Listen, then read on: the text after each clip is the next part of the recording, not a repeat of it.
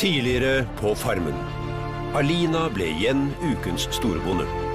Verdens beste søster, Alina. Reidar var den av utfordrerne som ble valgt inn på Farmen. Han viste seg å bli en god ressurs på gården. De hadde ikke noen med noen sånn spesielt gode kunnskaper når det gjelder bygging og sånne ting. Jeg må vise at de har bruk for meg.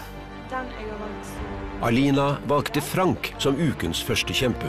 Og jeg tror du er klar over at du kommer til å bli valgt, og jeg tror du er klar for kamp.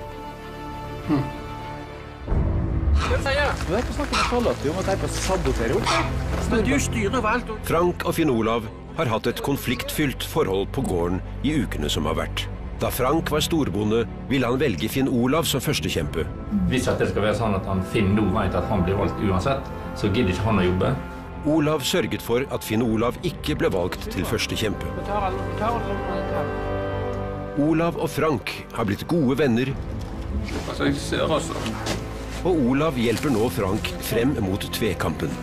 Det er ganske tynt tau, dette. Tror du dette ned? Nei. De eh, andre har ikke peiling på at vi har en hemmelig plan.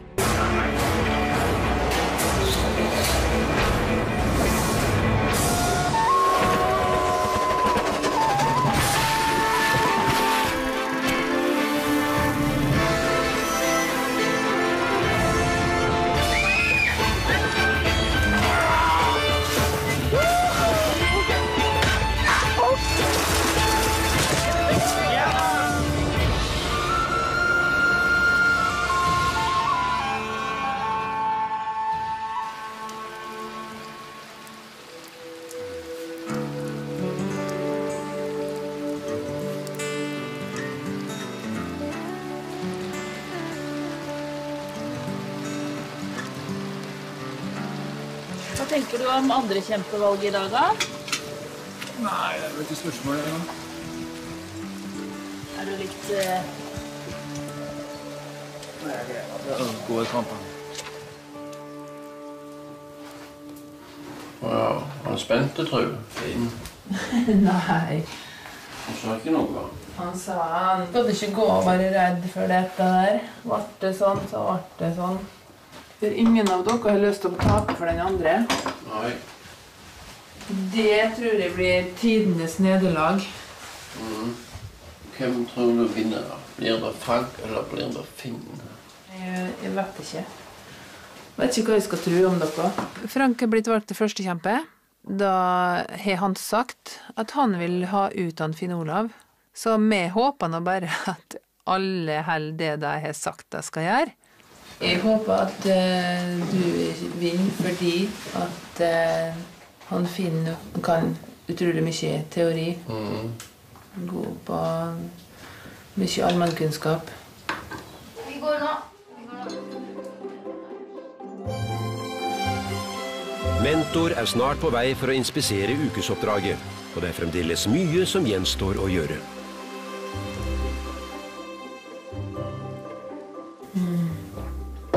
Tenk om det ikke blir mulig å male andre strøket.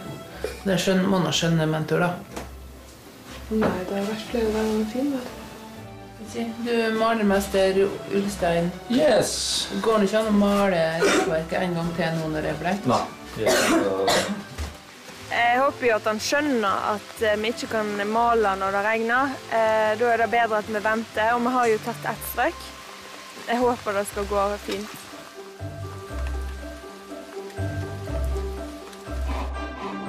Magnhild og Reidar har jobbet med å lage vugga de siste dagene. I begynnelsen av veka så tenkte jeg at søren, hvis Alina skal få to finalekniver, så blir det litt sånn Men eh, ukesoppdraget er så artig og så interessant at jeg klarer ikke å la være å gjøre mitt beste for det, da. Om hun får to finalekniver, så er det greit. Jeg er oppe i skogen en tur, jeg da. Så. I skogen er det fremdeles tømmerstokker som må barkes og kvistes, og til slutt fraktes til gården. Olav har tatt jobben med å male endestykkene på vuggen. Her er lokalsogna, vet du. Og så plasseres ei stjerne til minne om han har Finn. Ja. ja. Oppi At han forlot oss. Mm, Den blir plassert der. der. Der er Finn. Ja, det tror jeg. Er du klar til kamp? eh, veldig. Ja. Har du fått deg mat? Mm, Helt stor skål med lapskaus. Gjorde det andre var vekk? Ja. Han, eh, Frank han har jo gått ifra å være eh, jeg, halvt invalid med eh, vond rygg, og til å nå være sprek som en eh, fole. Og så er det selvsagt bygd opp forma hans med egg, som har vært påpasselig med å fôre han opp med kjøtt og andre ting som inneholder proteiner. Så eh, nå er han, eh, han er og klar til kamp. Nå er vi ikke klar for å klare ukesoppdraget, det håper jeg på. Ja. Poteter er det i åkeren, og, og senga har de ikke gått etter tegninger. Så jeg håper det at det ikke blir godkjent. Tror han er så knallhard. For hun blir jo veldig fin i vogga ellers. Ja, det blir fin ellers. Og så rekkverket har de malt én gang. Det står tegningen de skal male to ganger på rekkverket. Vet du hva han, eh, Finn Olav går rundt og sier nå, da? Han går rundt og sier at eh, jeg er sur på ham. Eh, fordi at jeg hevder han brøt en avtale, men han har aldri hatt noen avtale med meg. gjenger rundt og sier nå. Ja, det. Ja, vet du, han er så falsk. Sist han Frank var storbonde, da var han Finn Olav livredd for å bli valgt som eh, førstekjempe. Det var opplest og vedtatt at han skulle bli det. Så eh, spurte jeg om han var interessert i å gjøre en avtale. Så skulle han ikke velge meg som andrekjempe neste gang han ble valgt til eh, førstekjempe. Så da han bare kom til meg og sagt at han eh, gir blanke blaffen i avtalen vår. Der jeg kommer fra, der kan mannfolk gjøre en avtale med et håndtrykk. Mm, stemmer det. Ja. Det kan ikke han. Og så går han her og jobber, jobber og tror at det er helten her inne på gården. Men han skal nå brenne seg nå, da. Ja, nå. For, for nå tror han at det er om Magnhild som blir storbonde hvis du ryker. Mm, Når han oppdager at det faktisk er jeg, da skjønner han at han er drept seg ut. skikkelig har han reddet seg ut. Da kan han angre på at han brøt avtalen, da.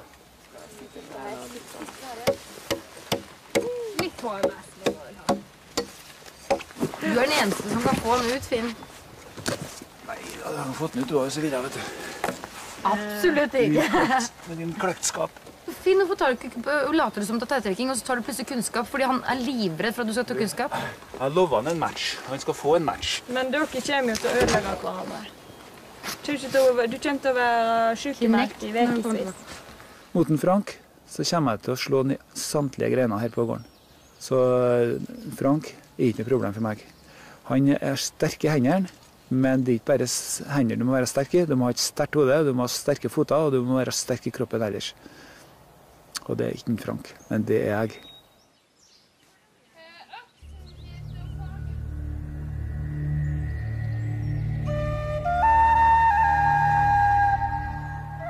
Mentor er på vei for å inspisere ukesoppdraget. Blir det godkjent, får deltakerne 20 kroner de kan handle for på markedet. I tillegg kan Alina, som storbonde, få nok en finalekniv. Hei, hei. Takk for sist. Takk for sist, ja. Er Er du med deg Da I dag har jeg med meg folk fra Strand. De vil gjerne se litt på Vågga, vet du. De vil da, ja. Ja, da tar du med alle sammen. Ja. For det er litt koselig at eh, alle får se. Det er da. Ja, men da kan vi gå ned og kikke. Så her, ja. Ja, her er vår. Her har vi produktet. Ja. Den var flott. Fine trenagler. Skal vi kikke litt inn i enda da, på mønsteret her, hva de er fine på. Oi, her er de fra nærmiljøet, ser jeg. Er det ti, ti fra gardsplassen? Så er det du som er herre for det flotte maleriet der. Ja, men det var eh, virkelig moro å se. Men Da tror vi avslutter her, og så går vi eh, videre. Så her, ja. Her har vi lunda. Når vi kikker litt på slinninga, om dere har fått eh, bært skikkelig.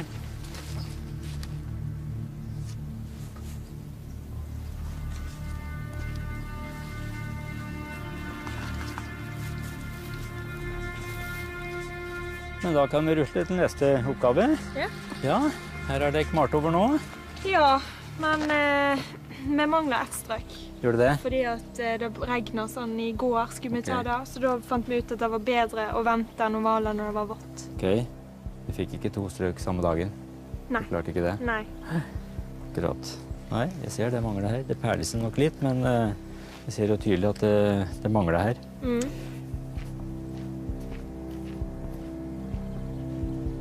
Da var det dommen.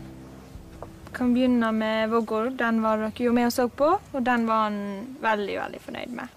Den var kjempebra. det var ingenting å si på den. Brenneriet hadde fått uh, hele fine poteter og masse poteter. Og så var vi og så på uh, tømmer. Det stemte med antall, men det hang en del bark igjen. Han var ikke helt fornøyd med barkinga. Um, og så var det malingen. Og der så han jo at det mangla et strøk. Men han forsto òg at eh, det var bedre å vente kanskje enn å klatre på det når det var vått. Så vi fikk det godkjent! 20 kroner. Veldig bra. Så bra jobba, alle sammen. Takk. Åh, takk. Gratulerer sjøl.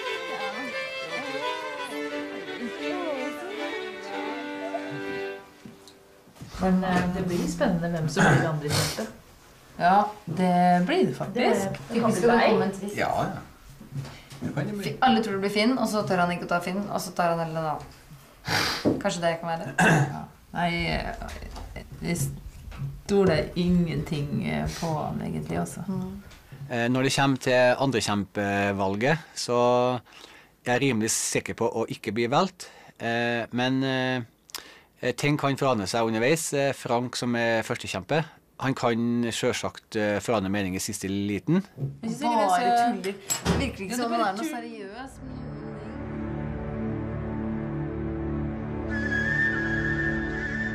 Tiden har kommet. Det er klart for andre kjempevalg.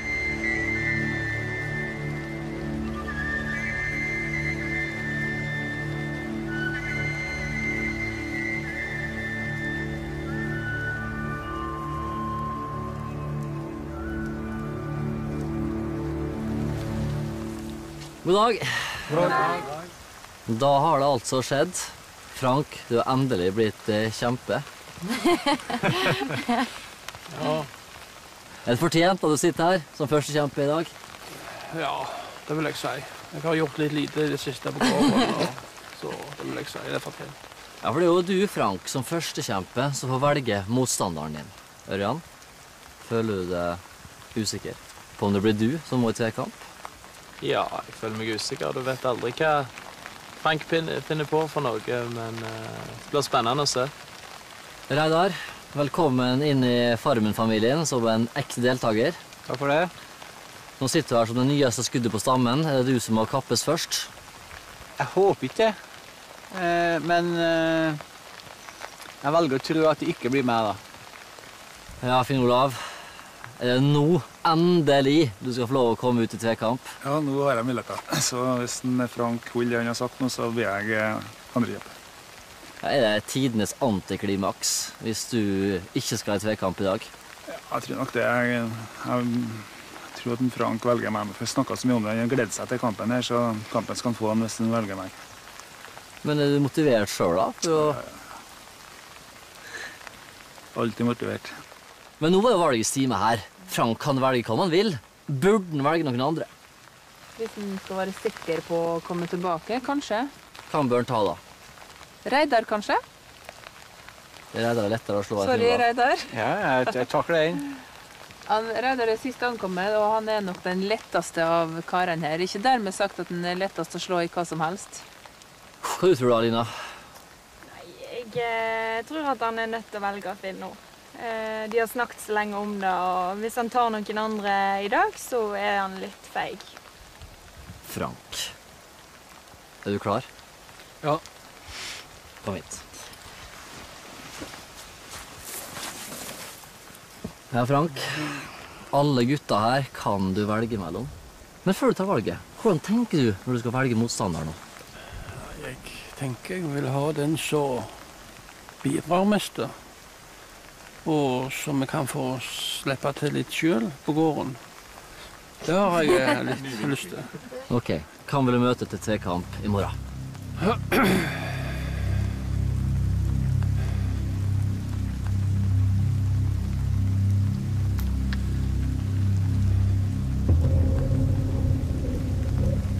Jeg vil møte Finn.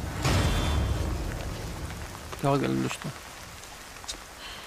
Valget er tatt, Finn Olav. Du er andrekjempe. Ja, hva sier du til her, Finn Olav? Nei, da, han, eh, Frank har sagt ifra at han vil møte meg i tvekamp og skal få kamp.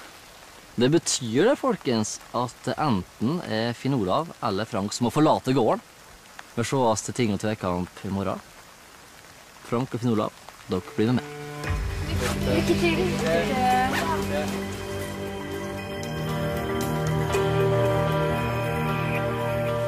Blir det den kampen vi ventet på, da. Jeg gleder meg. Det ikke Finn Olav er feig etter oksekast. Det, da. Ja, men jeg, han sa i dag at det, han kommer ikke til å gå vekk fra det sa. Jeg personlig har jo ikke noe ønske om at Finn skal velge tautrekking mot Frank i det hele tatt, og det har jeg sagt til han. Så jeg håper at han gjør noe annet. Men eh, vi får se. Det er Finn som velger det. Tidenes.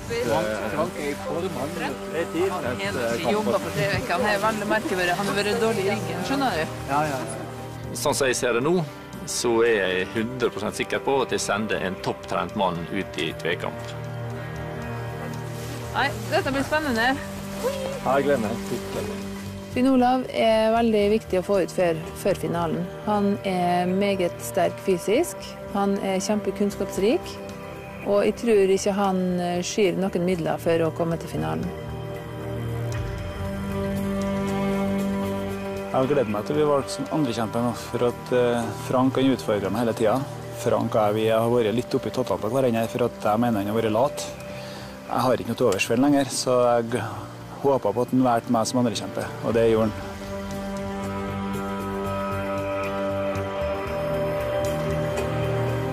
Hvis jeg eh, ble kvitt eh, Finn, så vil alle folk forandre seg. For alle, alle lyster på Finn, og, og han styrer på og bestemmer på hele gården. Og, så jeg har litt lyst til å få litt forandring på hele folka her på gården. Ja, ja, da blir vi kvitt han. For én dag, i hvert fall.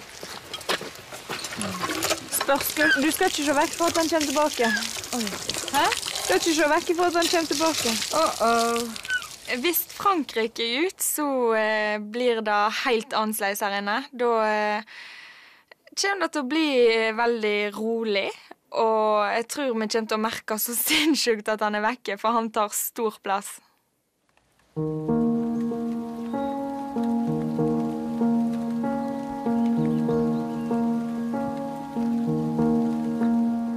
Skal vi ta oss og koke oss en kopp kaffe? Eller skal vi koke oss grøt først?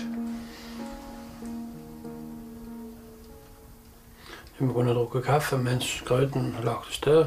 Går det an? Jeg er ikke så greie på det. Du er ikke så forbanna at, forbanna at jeg må lage min egen grøt? Nei. Er vi uvenner, da? Nei, vi må Vi kunne må lage klare å komme oss til her. Skal vi lage grøten til vann eller i melk, da? Nei, det, det er samme det. Her i kveld så blir det ikke noe vennskap. Jeg skal få han til å lage maten min og utnytte den med all matlaging, sånn at jeg slipper å gjøre det. Det er ikke den greia di. Du lager maten, så kan du ta besøk, ja. Ja, det er greit. Ja. Jeg tror ikke han kan tenne opp noen en gang. Så skal ikke han svelte i hjel nå i morgen, så er jeg nødt til å lage mat til han. Er du en god skuespiller, Frank, eller er du, er du sånn som du er? Vet du, jeg spekulerer på det. Du spekulerer på det? Jeg er ikke Jeg har aldri vært skuespiller. Aldri. Men jeg er så naturlig. Ja, men Det er ikke rart at du kan være så forskjellige personer. Du kan jo være et Ja. rent helvete. Og så er du en grei kompis. Ja. andre øyeblikket. Den har ikke dårlig samvittighet overfor for oss andre når du ikke var med og bidratt sist 14 gang. Nei, jeg har ikke det. Så sånn så jeg kan Nei, jeg har Ja, men har du, ikke- har du ikke dårlig samvittighet når du sitter og spiser det samme matfatet og et like mye mat som oss, når du ikke har vært med og bidratt? Nei, jeg kan, nei, jeg kan lage meg til Jeg kan være en drittsekk i ukevis hvis jeg vil det. Hvis jeg innstiller meg på det. Nei, det er helt utrolig. Altså, det, at du klarer å, å leve med det. Det er som jeg syns er rart. Jeg, har du vært sånn hele livet, eller? Ja, jeg har alltid hatt to sider. To er det, det er to, det er flere. Det er Ti. Ti sider! Ja, det er. Fokuset mitt når jeg sitter her og prater med Frank, det er å prøve å komme innom huet på han, sånn at han klarer å fortelle meg hvem han egentlig er. Men du klarer det ikke. Jeg har aldri i mitt liv møtt en sånn person som har så mange forskjellige personligheter, og du vet ikke hvem du møter til enhver tid. Det, altså det er umulig. Så vi er så forskjellige altså at det går ikke an å sammenligne oss i det hele tatt. Vidt forskjellig syn, begge to. Jeg eh, misoppfatta deg i begynnelsen, og jeg, eh, jeg skjemtes litt at jeg sammenligna meg og deg i begynnelsen. Men hva mener du om meg helt nå når vi sitter her på tampen en av oss? Syns du at jeg er en sånn idiot som du har sagt mange ganger, hva mener du? Du er, det skal du ha. Du er en veldig, veldig arbeidsmann. Over halvdelen av disse her på gården, de, de, de kan ingenting. Ja, jeg tror ikke det, men poenget mitt er at jeg klarer ikke å se ting ikke blir. Nei, det, det er skillen med meg i deg. Jeg kan se, jeg kan se det der, om det ligger oppå noe og ikke For det er ikke, det er ikke levebrødet mitt. Derfor så, så skifter jeg over til den holdninga. Jeg vet, jeg tenker på det at eh, Ja, men jeg, jeg tror at til, til våre til proffe deg utenfor Jeg tror du er en trivelig grei kar. Det tror jeg. Jeg fikk ikke annet inntrykk av henne, jeg fikk bare bekrefta det jeg trodde. Og så Nei, Frank, han er bare spesiell. Ja, nei, altså Hvis du vil ha en sånn avtale at eh, den som eh, vinner, blir storbonde, så er det greit for meg, det. Ja, men da ikke ha noe tull etterpå. Nei, da er det en avtale, da. Ja, en avtale er en avtale. Ja. Ja. Hvis jeg ryker ut, så skal jeg love han storbonde. Og hvis han kan gjøre det samme med meg. Da får jeg noen til å komme en kveld, tror jeg. da. Jeg vil ikke ha besøk. Men ikke si det. Ikke si det til det besøk du skal jeg ikke jeg vil ha besøk. Nei, Bare si det. slå meg til. Bare- Ja. Og så bare si du vant, for da blir det gjerne litt noen Jeg vet ikke, men jeg vil bare slappe av. Greit. Ja, men da stikker vi. Og takk for Ja, takk for maten takk for praten. Så tror jeg jeg har den og den og den. Jeg får fare ut, hytta. God natt, Frank. Ja, god natt. Og så får du ha Snakkes i morgen. Ja, lykke til. Du òg. Sove godt. Bra, det deg sjøl. Ha det. Ha det. Frank forventer nå at jeg skal velge tiltrekking. Han har gått og snakka om den kampen i, nå i tre ukers tid. Og jeg har sagt det til ham, at jeg skal villig til å møte ham i kamp. Men aldri bekrefta at jeg skal han i tautrekking.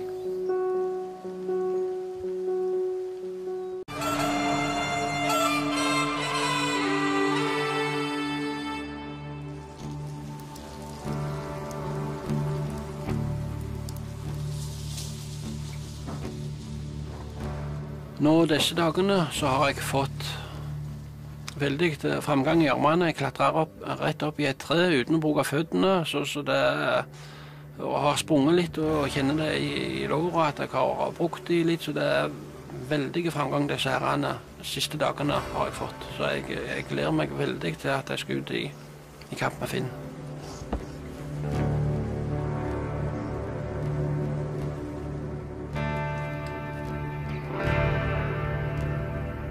Nå forventer egentlig alle sammen at vi skal slå ut i en kamp. Men det jeg vet, det er det at en Frank har holdt på å få tjuvtrena nå denne uka her. For jeg så, så faktisk det treet som han ordna der i, og jeg var og kikka på det, hva det var han holdt på med.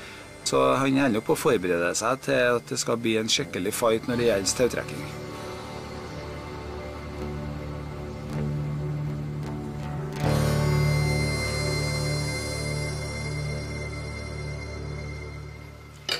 Glass med kjernemelk til deg der. Ja, men en glass?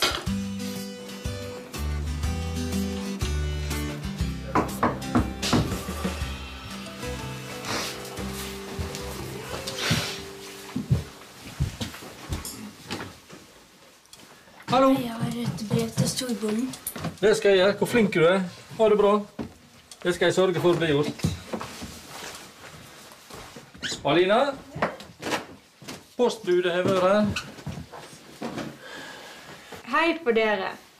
Ja, nå er det min tur til å sitte her i kjempehytta. Det er nok deg, Hilde, jeg har hatt de beste samtalene med, mens vi har sittet og melket og fått morgenteen sammen. Du er en klok kvinne som jeg har lyttet og lært mye av.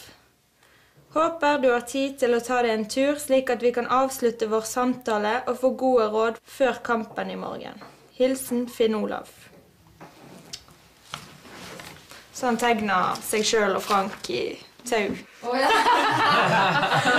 Så kult. Det var koselig brev, da. Du må hilse masse. Ja. Si lykke til, da. Lykke til. skal jeg gjøre. Det sto ikke på at jeg var en god gutt. Jeg tror kanskje ikke Finn har så mange allierte eh, på gården. Vi er blitt så godt kjent nå at det er liksom veldig ærlige tilbakemeldinger, og vi vi stoler på hverandre. Ha det!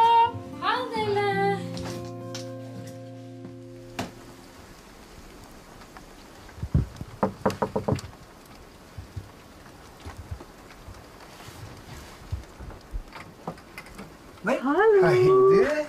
Hadde du tida til å høre det da? Ja, Ja, det hadde jeg. Og jeg kom inn. Ja, vær så god, vær så god. Jeg hadde samtale med en Frank, da. Ja. Og, eh, Han vil inngå avtale, sikkert. ja. Og den lova meg dyrt til helvete han skulle holde. Og det var det at den vinneren skulle bli storbonde. Og det garanterte meg. Du verden. Ja, så bra. Og det sa jeg at garanterte jeg meg òg, men det stemmer jeg til ikke til ord. For at uh, han brøtte som avtale med meg. Han har snakka drit om deg fra dag én. Ja, han gjør det, så jeg har ikke noe dårlig samvittighet. Så... Det skal du ikke ha. Nei, jeg skal å se. Så Nei, jeg må tilbake til gården. For faen. Altså, hvis jeg ryker ut nå, da blir det en stor nedtur. Nei, men eh, takk for besøket. Så snakkes vi. Ha det så godt, og lykke til. Det skal gå bra. Ja, det skal det.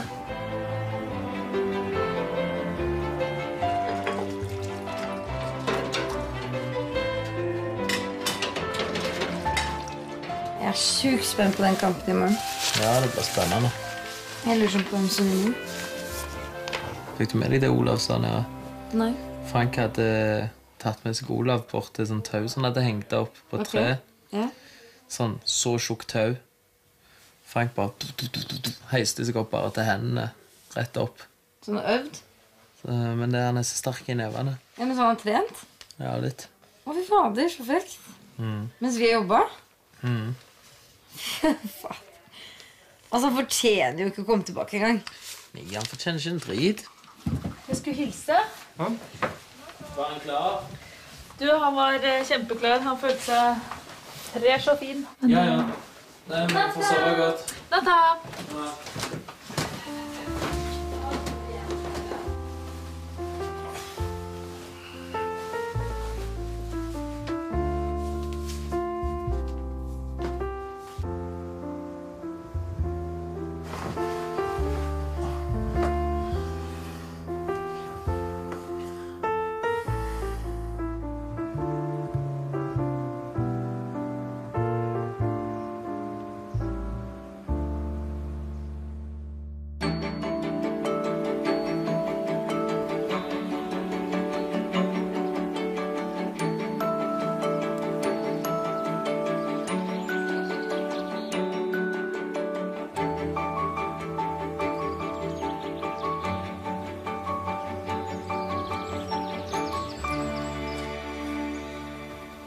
Det må gjør, er en Finn Olav. Ja, det er nok det. Det er nok det, ja. Det er jo mye som blir gjort her inne som eh, ikke alle er klar over. Sånn som Finn Olav, han har gjort mye av det utenom eh, arbeidet som ingen tenker på. Det er veldig uvant at Finn ikke er her. Eh, Det kommer veldig brått på. Det er, han gikk plutselig ut i hytten, og så står vi der på morgenen og begynner å tenke Oi, nå har vi ingen her og ingen der, så nå må vi gjøre det selv. Hvem så klippe klippet tåneglene sine på stua? Så sykt ekkelt. Jeg tar den, jeg.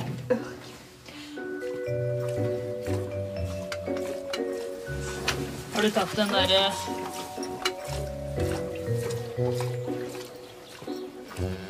Hvis Finn ryker, så går vi jo glipp av eh, ja, et arbeidsjern uten like. Da blir det tøft. Jeg gleder meg sånn til kampen. jeg. Hallo. Det blir så bra. Han tar tau.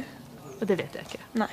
Det, det, kan, det kan se sånn ut, men eh, innerst inne så håper vel jeg at han ikke gjør det. Det blir spennende å se, i hvert fall.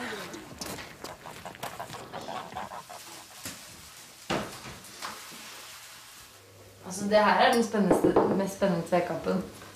Ja, der er jo egentlig finalen midt, eh, som jo midt i løpet. Altså, det er jo sånn, dette her er jo, det er ikke tvekamper senere som måtte, vil ha samme interesse eller engasjement som eh, kampen i dag. Den er jo helt unik. To kjempende barker i lag. Bare én kan bli igjen. Jeg håper det er et glass med honning på etter i dag. Hadde jeg blitt så glad. Og kaffe. Kanskje honning. Nei, jeg syns det er slakting, korn Gjær trenger vi ikke. Det er som en husnisse. Du. Se på lua. Du skulle, hatt, du skulle hatt, ikke vært all black, da hadde du vært husnisse. Nå gleder jeg meg utrolig mye til markedet. Godt å komme seg litt bort fra alle sammen. Og vi begynner å bli så få, så man er oppå hverandre hele tiden. Man blir jo litt sånn smågal i ny og ne. Og så blir det deilig å kanskje få smake litt på ting og kanskje få med seg noe søtt. Så det hadde, ja, jeg gleder meg veldig til i dag. Å, håper de har honning. Og håper vi vinner kaka.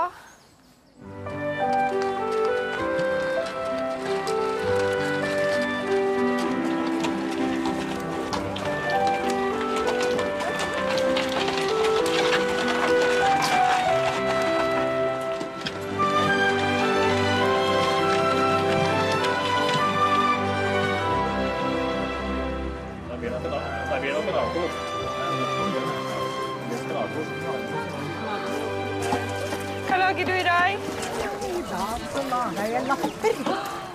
deilig. Hva koster de? 50 øre. For en? Har vi, sma har vi smaksprøver? Se her. Men vil de ha smaka i dag? Ja. Vil de ha litt syltetøy på? Ja. Oi, oi, oi. Det er gledens dag. Å, takk. Gud bedre. Hei. Vi lurer litt på slakting, men. Slakting? Ja. Det blir litt vanskelig å få til, altså. For han, eh, han andre slakteren jeg har, han er på jakt. Jeg har altfor mye å gjøre denne uka her. Men neste uke, tenker jeg. Ok. Hva var dette her, sa du? Det er høyrygg.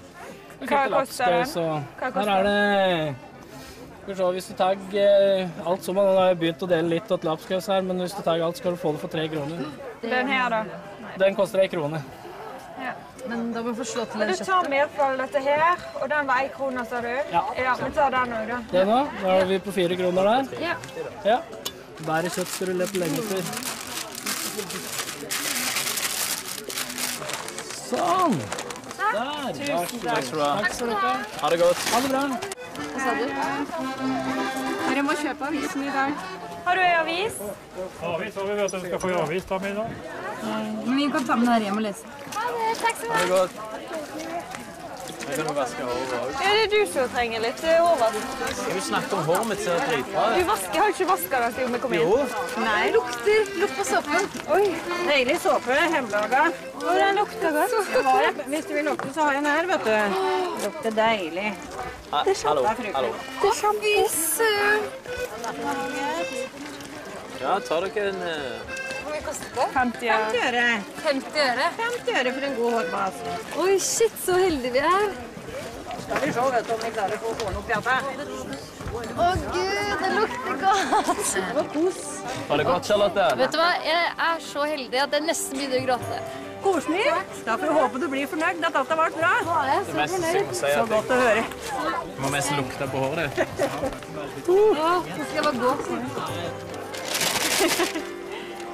Og så eplene. Hva koster de, da? Kroner kilo. Ja. Men da tar vi ti epler, da. Tusen takk. Skal vi få en krone på deling? Ja! Ja? Vi tar fem kilo hvete òg, da. Ja.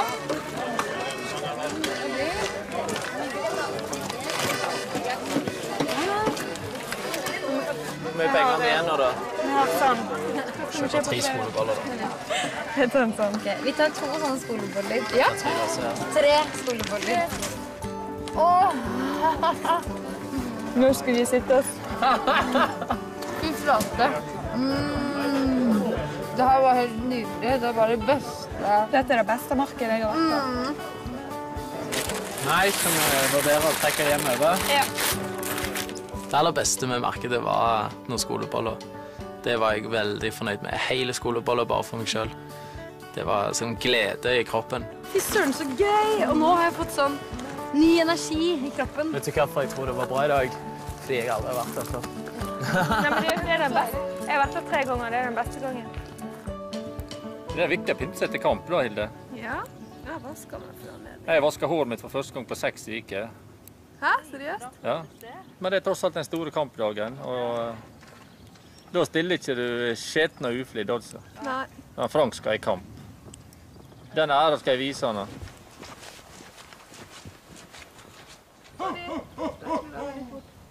Ja, Du må se her når du klipper. Du kan ikke se én vei og klippe en annen vei.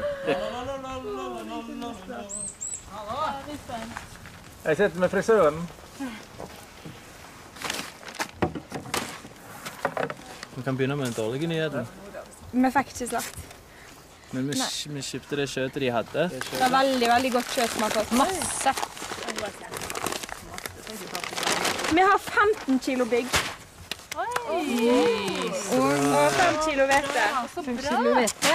Ja, vi fikk så masse for pengene i dag at vi måtte dobbeltsjekke. Bygg. Og så har vi vel to-tre kilo med løk. Og så har vi fått eh, mye frukt. Til alle, og litt til kake, hvis vi skal til kaken og sånn. Men eh, skal vi lese litt fra Ja, det er avisa? eple. Politiet etterforsker drap.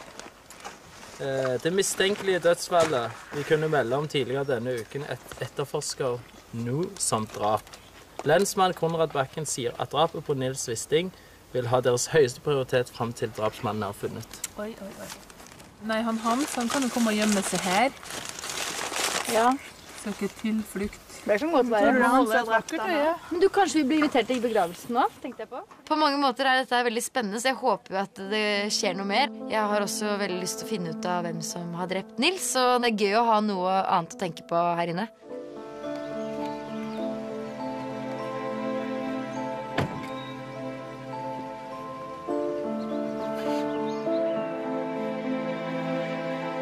Finn-Olav og Frank skal snart møtes til tvekamp. Finn-Olav er andrekjempe og får derfor bestemme hvilken gren det skal kjempes i.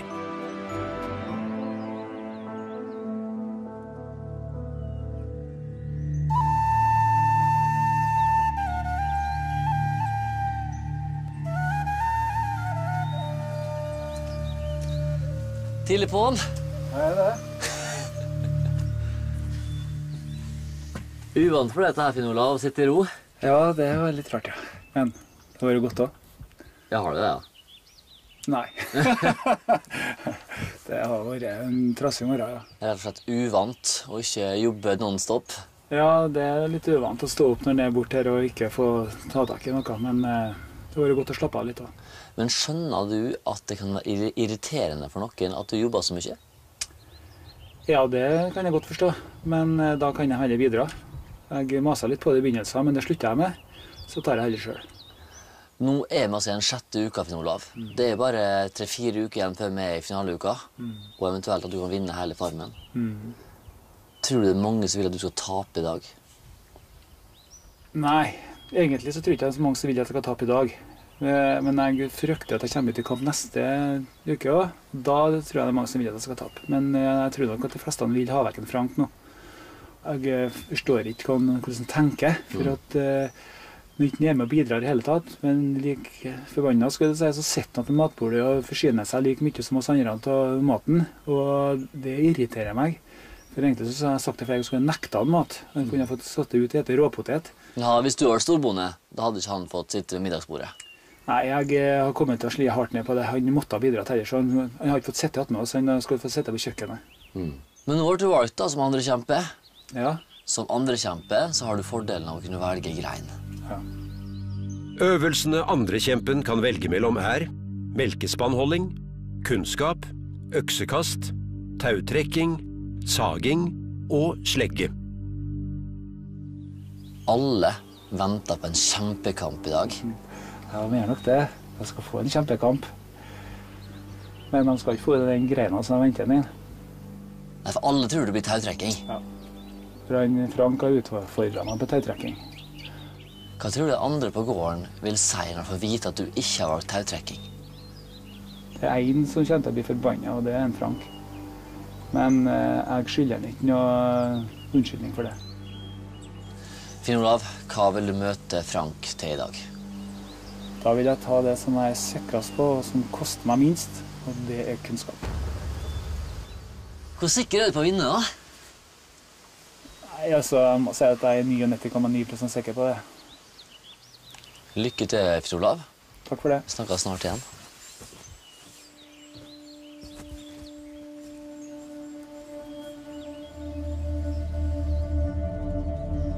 Ja, du er våken? Ja. Dette her blir storkamp. Ja. Det, det kan det bli. Det er alt etter hva en eh, velger. Ja. Han har snakka litt om tautrekking, men jeg stoler ikke helt på han om han kan ta andre utfordringer. Så Men jeg håper på tautrekking. Du har jo virkelig fått eh, trent i form nå, Frank. Ja, det har jeg. Og fått rikelse med egg i meg og godt med kjøtt i meg, så det skal ikke stå på, på maten. Nei. da. Og ikke, ikke har jeg brukt opp energien min med til å jobbe heller. Hva tenker du om eh, Finn Olav som motstander, da? Han er 10-12 år eldre enn meg, så det tror jeg kanskje kan ha en fordel. Men den, den sterke kar jeg, jeg, jeg tror ikke det blir så veldig lett. Hva tror du eh, Finn Olav har valgt? Nei, det er enten øks, øks og kile, eller så, så er det nok tautrekking. I verste fall så kan han ta kunnskap, og da sliter jeg. Jeg har ikke skrevet sånn noe interesse for det. Så jeg håper jeg kan stole på han, at han tar tautrekking. Finn Olav har ikke valgt tautrekking. Ja. Han er, ja, nei, han er ikke til å stole på. Finn Olav har valgt kunnskap. Det er han ikke til å stole på. Det var ikke det hadde sett for deg når du skulle velge han som motstander? Nei, det er sånn dameting. Det er skikkelig feigt. Det er dameting til å kunnskap hvis at du er så feig at du ikke tør å møte som en mann til mann. Så han er, han er for feig. Han tør ikke. Det var, det var skuffende av han. Da blir han mislikt på gården. Du tror det, ja? Ja, det tror jeg. Passer seg ikke det hele for mannfolk. Store, sterke mannfolk. Og så sage og bruke armer, muskler og, og sånn som Finn. Han eh, gjør, gjør uttrykk for han er veldig sterk, og, og så velger kunnskap. Mm. Det var veldig skuffende. Og det kom ikke som ei bombe at du er en simpel en drittsekk. Du i hvert fall lykke til, Frank. Og så sees vi snart oppe på tingplassen. Jo, takk. Ha det. Eh, ha det. Ha det.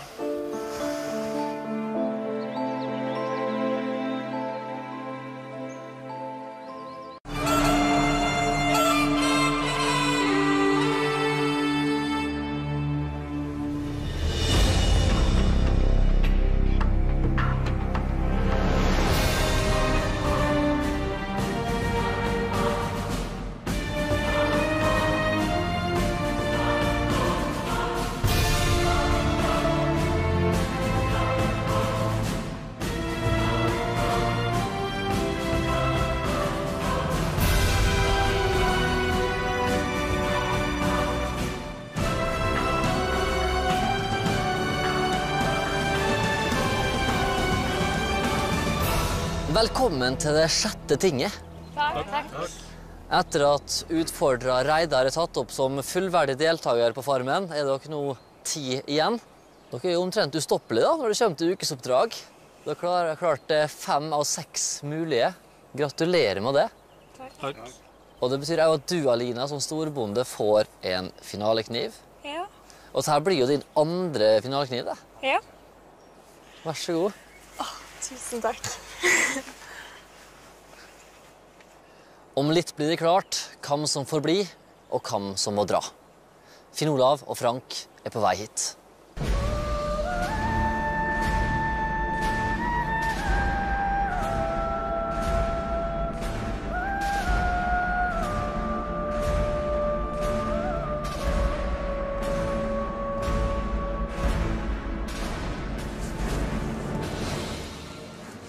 Velkommen hit.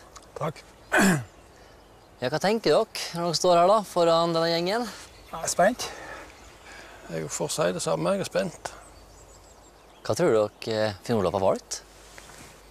Jeg tror ikke at det finner en mann som pyser ut, så jeg tror det blir tautrekking. Jeg tror Finn Olav har tatt utfordringa og velger tautrekking. Tautrekking. Tautrekking. Finn Olav har valgt kunnskap. Oi, oi, Wow! Å, shit. Hæ? What? Overraskende. Jeg må si jeg ble kjempeskuffa. Jeg hadde virkelig håpa at han tok utfordringa og valgte tautrekking. Det hadde jeg gledet meg til å se. Har du forståelse for det her, Olav Harald? Overhodet ikke. Eh, Det står ett realt ærlig mannfolk der framme. Den andre han har feiga ut, så jeg håper at han Frank blir her. Olav, du må få svare. For det første så ønsker ikke jeg nå, når det er så kommet så langt ut i farmen, å møte Frank i tautrekking, for at vi kommer til å ødelegge oss. For det andre så har jeg stått på og jobba nå. Frank har sittet og spist råegg og holdt på å trene til kampen her i 14 dager. Jeg møter ikke en sånn en i tautrekking. Har du forståelse for argumentet, Frank? Nei. Det er simpelt. Voksen, store mann som ikke tør å ha tautrekking, det forstår jeg ikke. Han er tyngre enn meg, og han har mer muskler enn meg, han er skryt av, i- så jeg forstår ikke noen ting. Men alle de andre på gården mente på at han kom aldri til å feike ut, og det har han tydelig gjort. Så det er en jævla drittsekk. Hva tenker dere når dere ser disse to kjempene her? Det er alfahundene våre som står her. En av dem må dra. Hva slags minne vil dere sitte igjen med av de to gutta her?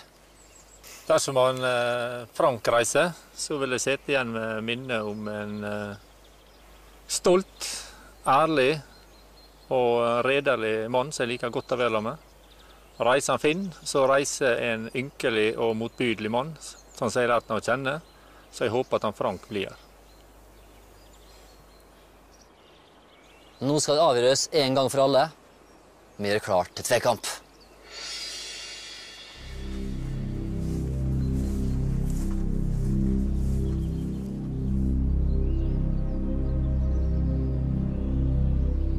I kunnskap får dere fem oppgaver. Svarer dere riktig på en oppgave, får dere ett poeng. Den som har flest poeng etter fem stilte oppgaver, vinner tvekampen og får en uke til på Farmen. Lykke til, begge to. Måtte den beste vinne. Spørsmål 1. Sorter disse dyra etter drektighetstid, fra kortest til lengst. Ku, gris, sau.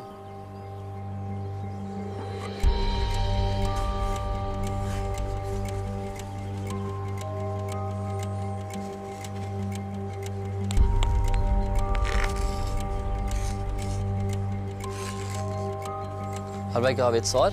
Ja. Ja. Da begynner vi med det, Frank. Hva har du svart? Ku har lengst, og så sauen, og så gris. Så gris er kortest, sau har medium og ku har lengst. Finn Olav, hva har du svart? Svart det samme. Gris er kortest, sau har medium og ku lengst. Begge har svart riktig.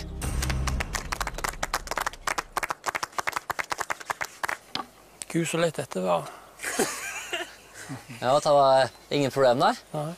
Du har Finn Olav, en god start. Ja, fin start her, Vi får se om dere liker oppgave to like godt. Det har vært slakta gris på garn. Og her ligger det tre innvoller fra gris. Men hvilke deler er det? Her får dere ingen alternativ. Når dere er klare, kan dere svare.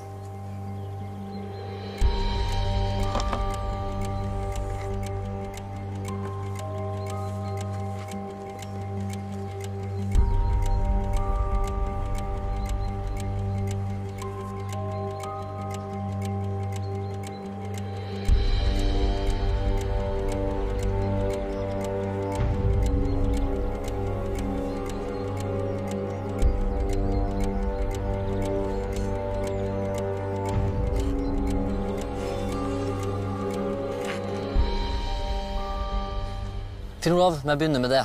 Hva er det vi ser foran oss her? Først så har vi A levra, B har vi bukspyttkjertelen, og C så har vi nyra. Frank, hva har du svart? Ja, nyre, B lunge og C hjerte.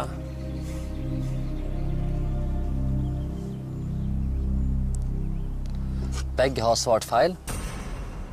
Foran dere ser dere A. Lever. B. Mildt. C. Nyre. Jeg liker ikke indre organer. Jeg har ikke sansen for den type. Oppgave tre er av den praktiske sorten. Foran dere ligger delene til hver deres separator. Oppgaven er å sette sammen separatoren og separere minst en desiliter godkjent fløte i løpet av åtte minutter. Det er ikke om å bli først ferdig. Får du godkjent fløte, får du et poeng. Men du har maks åtte minutter på det. Ja, Frank, er oppgaven forstått? Nei. Åtte minutter fra nå.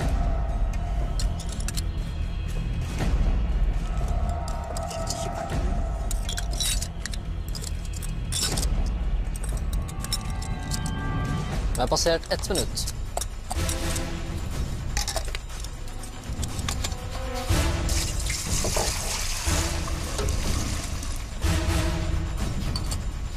To minutter.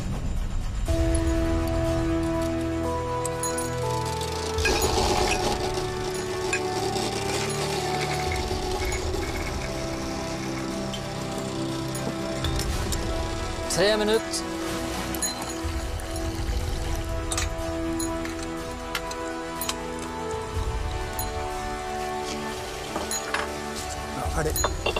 Du mener du er ferdig, Finn Olav? Fire minutter passert.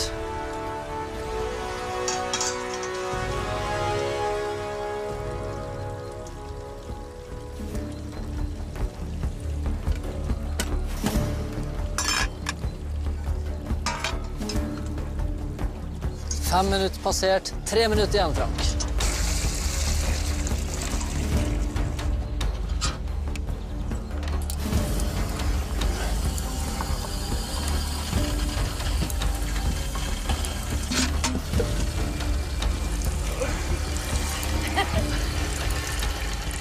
Du kjernemelk eller fløte. Var det fløte du skulle ha? Fløte gjerne. Seks minutter passert. To minutter igjen. Heia, heia, heia.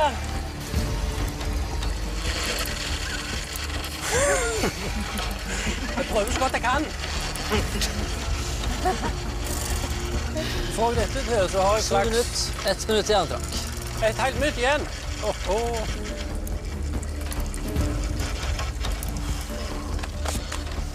Nå får jeg dette til, så forstår jeg ingenting. Det er første gang, ja. Fem, fire, tre, to, én. Stopp. Frank, er det separator noe du har drevet på med mye i ditt liv? Nei, det er første gang i mitt liv. Jeg er overraska over at du fikk det til såpass. Å, takk. Du er overraska sjøl? å, jeg trodde du var overraska. Nei, jeg vet ikke aldri. Er du Ja, jeg er litt overraska at det gikk så fort. Jeg har aldri gjort det før. Skal vi få godkjent, må det være ordentlig fløte. Begynner med deg, Finn Olav. Mengden er det ingenting å si på. Du er langt over streken.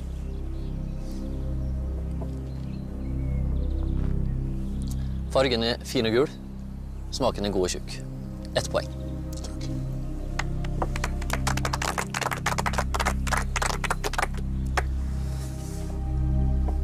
OK, Frank.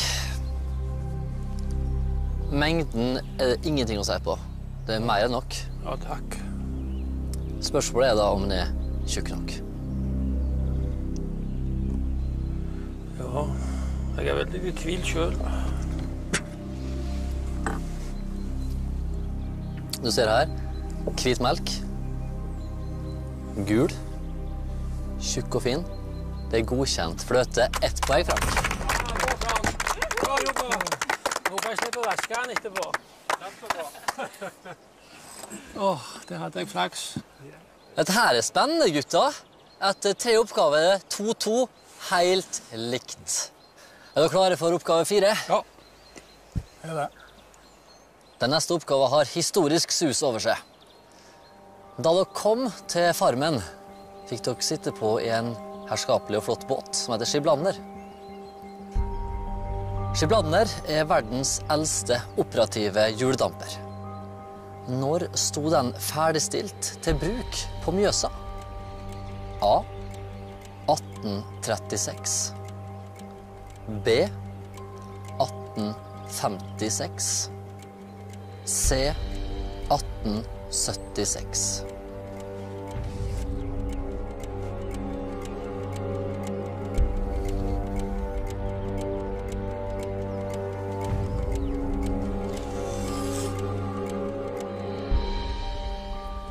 Da begynner vi med det, Frank.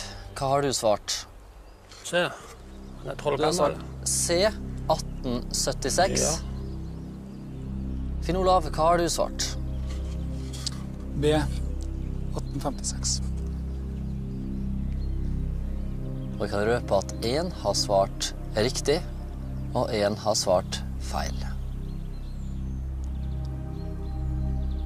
Ett poeng går til Finn Olav.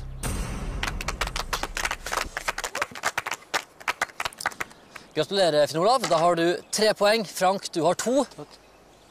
Og vi er klart for siste og avgjørende runde. Du må ha riktig nå, Frank, og du er avhengig av at Finn Olav svarer feil. Du har det som skal til, Frank, for å vinne dette. Ja, får bare prøve så godt jeg kan. Jeg, han er litt eldre enn meg, så jeg var ikke med. Jeg husker ikke når jeg bygde den båten. Oppgave fem. I 1914 ble Alf Prøysen født. Hvilken annen kjent person er født i Hedmark? A. Edvard Munch. B. Knut Hamsun. C. Sigrid Undset.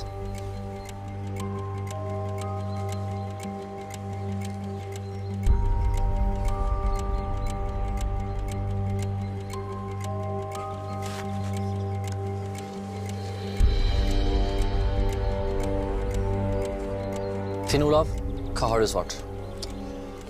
Jeg svarte A, men jeg tror det er to som var født her. Både A og C, men eh, jeg tok sjansen på A. Frank, hva har du svart? C. Så Finn Olav, du har svart Edvard Munch, er født i Hedmark. Frank, du har svart C. Sigrid Undset. Én har svart riktig.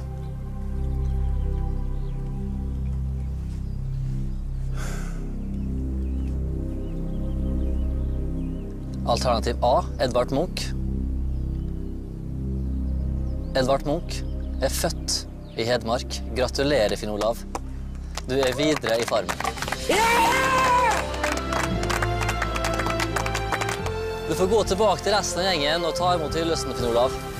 Takk, takk. Nå synes jeg at jeg har fått prestert mye her på Farmen. Så eh, jeg spilte eh, høyt nå, men heldigvis så vant jeg. Det har vært ei glede, Frank. Og nå er jo de tid på Farmen straks over. Men før du drar, så må du ta skikkelig farvel da, med denne gjengen her. Det skal jeg gjøre. Hmm. Jeg begynner den veien. Ja, Fin kamp. Ja. Det vidt. Håper du forstår meg. ja, ja, ja. ja. Hallo. Hallo. Hane. Hei, og hei sånn at du, ja, det, du var veldig imponert, altså. Ja, det gjorde du. Du er så jeg ser ut her.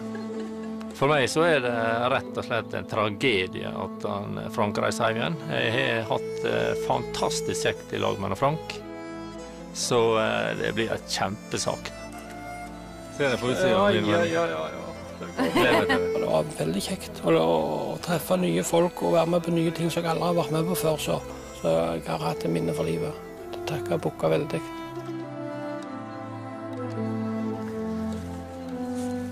Er du skuffa, eller?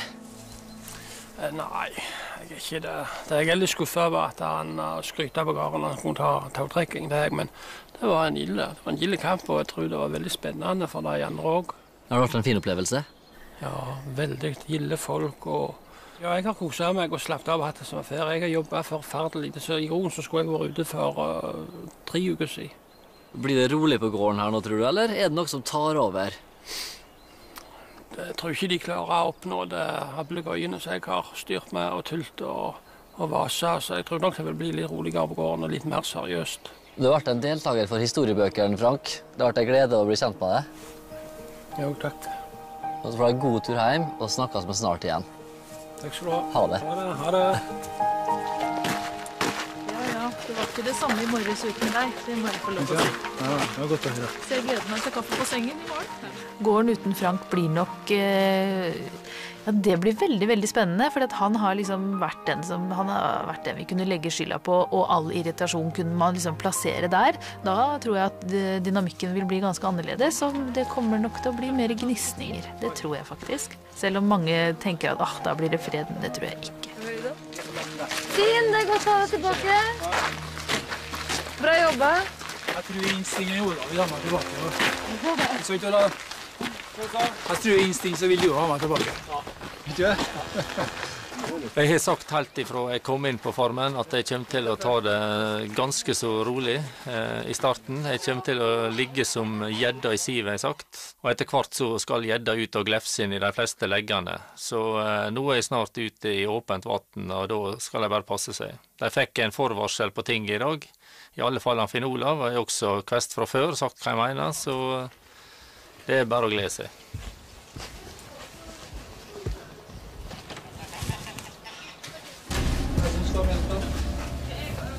Er det mulig, Hilde?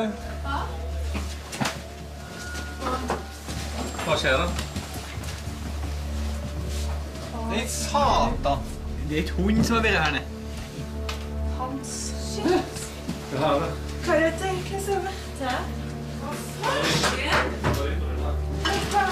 deg. Du, han har åpnet her. Se. Han åpner bøkene. Ja, alle. Se. Du, kanskje han leter etter sånn testament eller noe? At han fyren gjør det?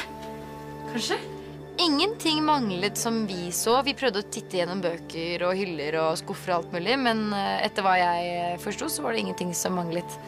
For du ser, han har åpnet den, det skapet her òg. Jeg tror at Hans eh, har vært her og prøvd å finne testamentet. Severin er nok eh, favorittsønnen til Nils, og eh, dermed så tror jeg at det er han som kommer til å arve gården. Og da er kanskje Hans eh, litt uenig i å prøve å endre litt på det. Åh, hvilke frysninger. Du så irriterende. Ja. Storbonde, what shall we do?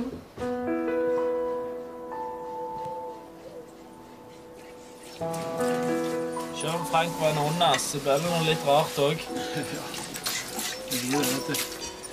Men det er da ikke godt å være tilbake her, Jan. Fy faen, Ja. altså, det er helt utrolig. Det er godt å ha deg tilbake. Ja, takk for det. takk for det. Jeg eh, syns at jeg fortjener noen uker til. Syns jeg òg.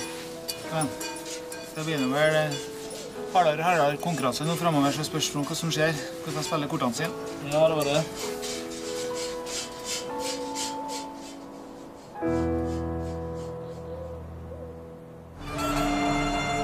I neste episode av Farmen i morgen 21.40. Den nye storbonden er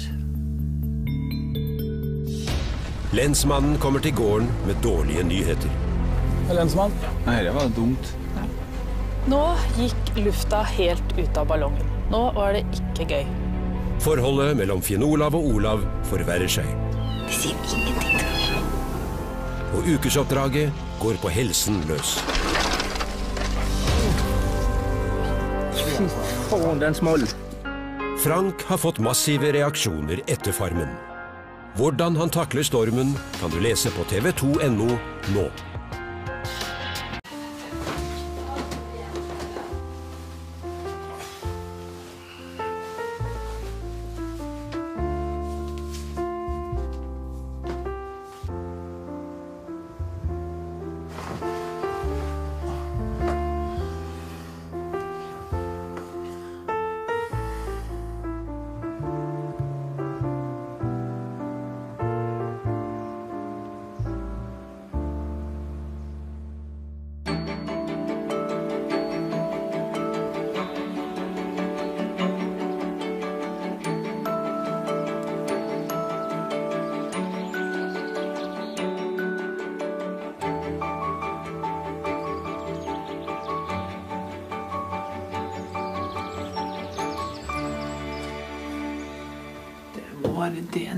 Finn Olav.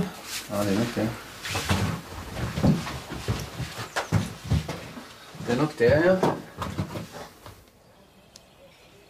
Det er jo mye som blir gjort her inne som eh, ikke alle er klar over. Sånn som Finn Olav, han har gjort mye av det utenom eh, arbeidet som ingen tenker på. Det er veldig uvant at Finn ikke er her. Eh, Det kommer veldig brått på. Det er, han gikk plutselig ut i hytten, og så står vi der på morgenen og begynner å tenke Oi, nå har vi ingen her og ingen der, så nå må vi gjøre det selv. Hvem så klippe tåneglene sine på stua? Så sykt ekkelt. Jeg tar den, her.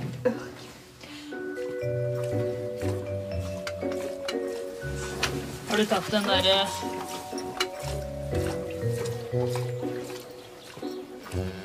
Hvis Finn ryker, så går vi jo glipp av eh, ja, et arbeidsjern uten like.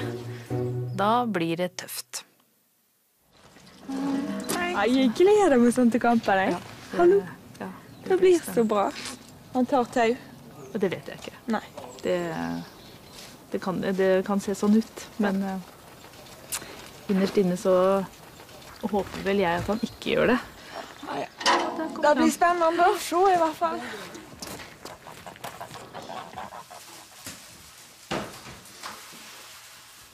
Altså, det her er den mest spennende tvekampen. Ja, der er jo egentlig finalen midt, eh, som er midt i løpet. Altså, det er jo sånn, dette her er jo, der er det ikke tvekamper senere som måtte, vil ha samme interesse eller engasjement som kampen i dag. Den er jo helt unik. To kjempende barker i lag. Bare én kan bli igjen. Håper det er et glass med honning på meg i dag. Hadde jeg blitt så glad. Og kaffe. Erstepodning. Nei, jeg syns det er slakting, korn, gjær trenger vi ikke. Det er som en husnisse. Du. Se på lua. Du skulle, hatt, du skulle hatt, ikke vært all black, da hadde du vært husnisse. Nå gleder jeg meg utrolig mye til markedet. Godt å komme seg litt bort fra alle sammen. Og vi begynner å bli så få, så man er oppå hverandre hele tiden. Man blir jo litt sånn smågal i ny og ne. Og så blir det deilig å kanskje få smake litt på ting, og kanskje få med seg noe søtt. Så det er det, ja. Jeg gleder meg veldig til i dag. Å, håper de har honning. Og håper vi vinner kaka.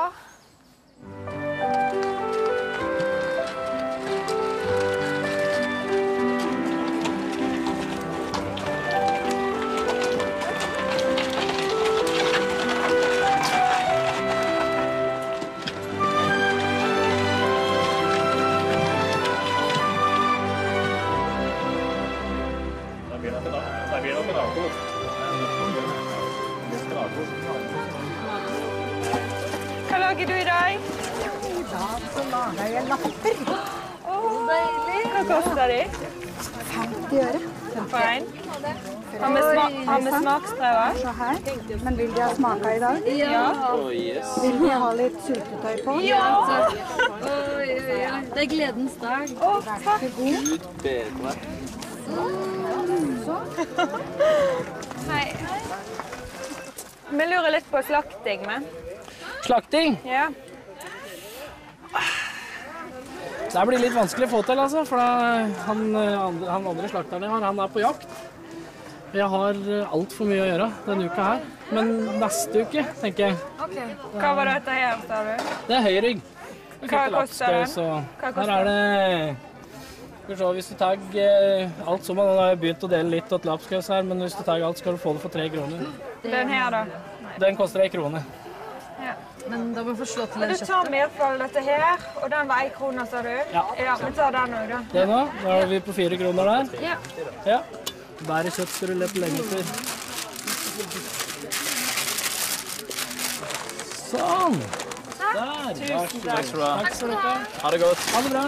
Hva sa du? Dere må kjøpe avisen i dag. Har du ei avis? Avis har vi vet at du skal få ei avis da, Mina. Men vi kan ta med den her hjem og lese. Ha det. Takk skal Ha det. Jeg kan vaske håret òg. Er det du som trenger litt eh, hårvask? Du snakker om håret mitt ser dritbra Du ut. vasker, har ikke vaska det siden vi kom inn? Jo. Nei. Det lukter. Lukt på såpen. Oi. Deilig såpe. Hjemmelaga. Å, den lukter godt. Jeg Hvis du vil lukte, så har jeg den her, vet du. Lukter deilig. Ha- Hallo. hallo. Det er sjampis. Ja, tar dere en koster det? 50 50 øre. 50 øre? 50 øre for en god hårvask. Oi, shit, så heldige vi er. Skal vi se vet du, om vi klarer å få håren opp i igjen. Å gud, det lukter godt. Var det godt, Charlotte? Vet du hva, jeg er så heldig at jeg nesten begynner å gråte. Koselig. Da får vi håpe du blir fornøyd at alt har vært bra. Det meste så jeg må si Så godt å høre. Du må mest lukte på håret ditt. Å, nå skal jeg bare gå. Og så eplene. Hva koster de, da? Kroner kiloen. Ja. Men da tar vi ti epler, da. Tusen takk. Skal vi få en krone på deling? Ja! Ja? Vi tar fem kilo hvete òg, da. Ja.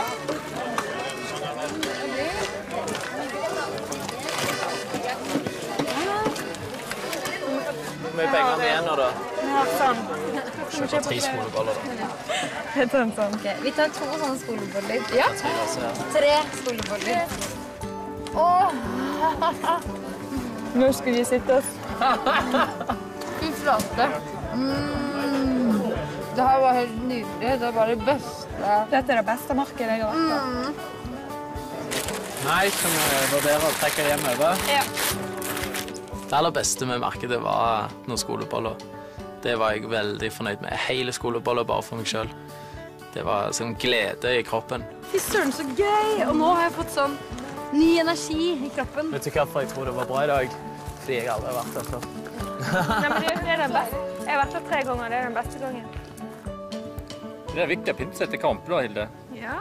Jeg vasker meg før med. Jeg vaska håret mitt for første gang på seks uker. Hæ? Seriøst? Ja. Men det er tross alt den store kampdagen, og da stiller ikke du skjeten og uflidd, altså. Nei. Ja, Frank skal i kamp.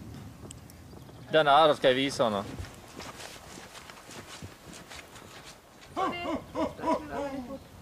Ja, du må se her når du klipper. Du kan ikke se én vei og klippe en annen vei. Jeg sitter med frisøren.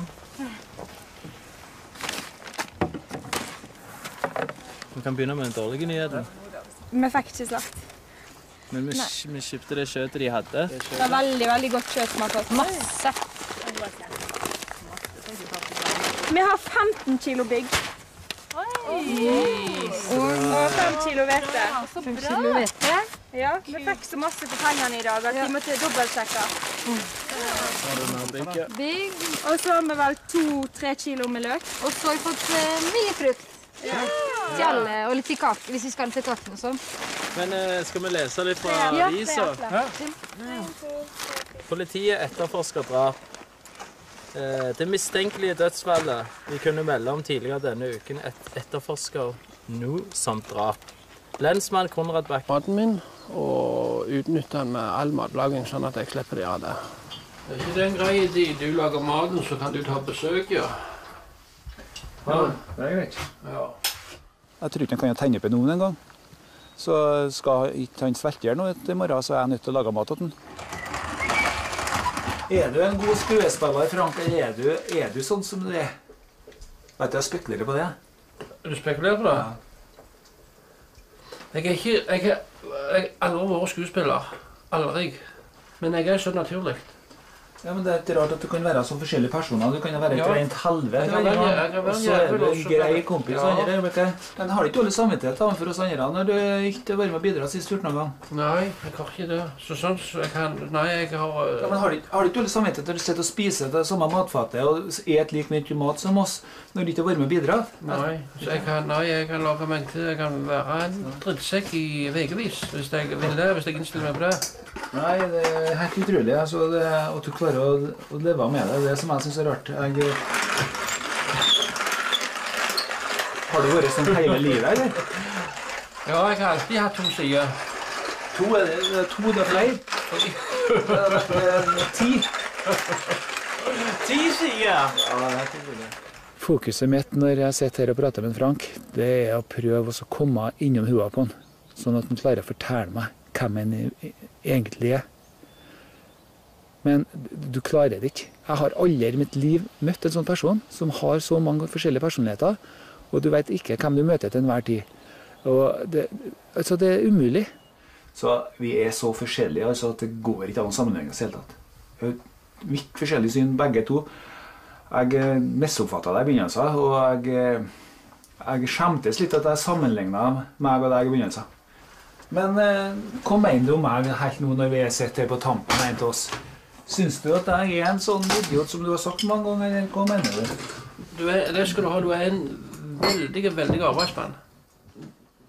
Over halvdelen av disse her på gården, de, de kan ingenting. Ja, jeg tror ikke det, men poenget mitt er at jeg klarer ikke å se ting ikke blir Nei, det, det er så med meg i deg. Jeg kan se, jeg kan se det der, om det ligger oppunder noe og ikke For det er ikke, det er ikke levebrødet mitt. Derfor så, så skifter jeg over til den holdninga. Jeg vet jeg tenker på det at eh, Ja, men jeg, jeg tror at det til våre til proffe deg utenfor Jeg tror du er en trivelig grei kar. Det tror jeg. Jeg fikk ikke noe annet inntrykk av henne, jeg fikk bare bekrefta det jeg trodde. Og så Nei, Frank, han er bare spesiell. Ja, nei, altså Hvis du vil ha en sånn avtale at eh, den som eh, vinner, blir storbonde, så er det greit for meg, det. Ja, men da ikke ha noe tull etterpå. Nei, da er det en avtale, da. Ja, en avtale er en avtale. Ja. Ja. Hvis jeg ryker ut, så skal jeg love han storbonde. Og hvis han kan gjøre det samme med meg. Da får jeg noen til å komme en kveld, tror jeg. da. Å, jeg vil ikke ha besøk. Men ikke si det. Ikke si det til det besøk du skal jeg ikke jeg vil ha besøk. Nei, Bare si det. til. Bare- Ja. Og så bare si du vant, for da blir det gjerne litt noen Jeg vet ikke, men jeg vil bare slappe av. Greit. Ja, men da stikker vi. Og takk for Ja, takk for maten takk for praten. Så tror jeg jeg har den og den og den. Jeg får fare i hytta. God natt, Frank. Ja, god natt. Og så får du ha Snakkes i morgen. Ja, lykke til. Du òg. Sov godt. Jeg deg sjøl. Ha det. Ha det. Frank forventer nå at jeg skal velge tiltrekking. Han har gått og snakka om den kampen nå i tre ukers tid. Og jeg har sagt det til ham, at jeg skal være villig til å møte ham i kamp. Men alle bekrefter at jeg skal møte ham i tautrekking.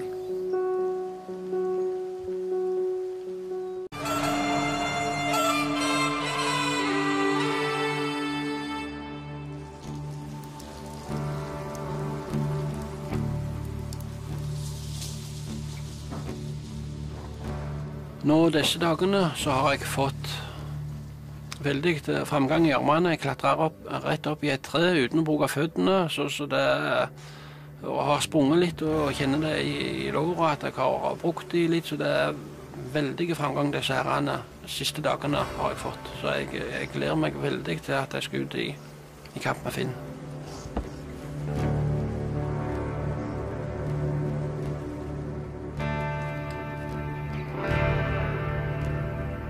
Nå forventer jeg egentlig alle sammen at jeg skal slå ut en kamp. Men det jeg vet, det er det at en Frank har holdt på få tjuvtrena nå denne uka her. For jeg så, så faktisk det treet som han ordna det der i, og jeg var og kikka på det, hva det var han holdt på med.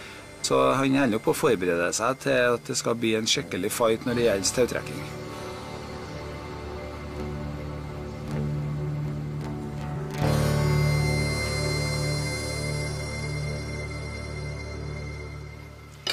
Et glass med kjernemelk til deg der. Ja, men en glass?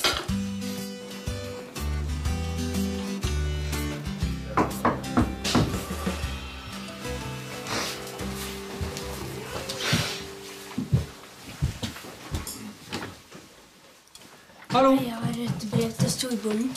Det skal jeg gjøre. Hvor flink du er. Ha det bra. Det skal jeg sørge for blir gjort. Alina? Postbudet har vært her. Hei på dere. Ja, nå er det min tur til å sitte her i kjempehytta. Det er nok deg, Hilde, jeg har hatt de beste samtalene med, mens vi har sittet og melket og fått morgenteen sammen. Du er en klok kvinne som jeg har lyttet og lært mye av. Håper du har tid til å ta deg en tur, slik at vi kan avslutte vår samtale og få gode råd før kampen i morgen. Hilsen Finn Olav. Så han tegna seg sjøl og Frank i tau. Oh, ja. Så kult. Det var koselig brev, da. Du må hilse ham masse. Ja. Si lykke til, da. Lykke til. skal jeg gjøre. Det sto ikke på at jeg var en god gutt. Jeg tror kanskje ikke Finn har så mange allierte eh, på gården. Vi er blitt så godt kjent nå at det er liksom veldig ærlige tilbakemeldinger, og vi vi stoler på hverandre. Ha det!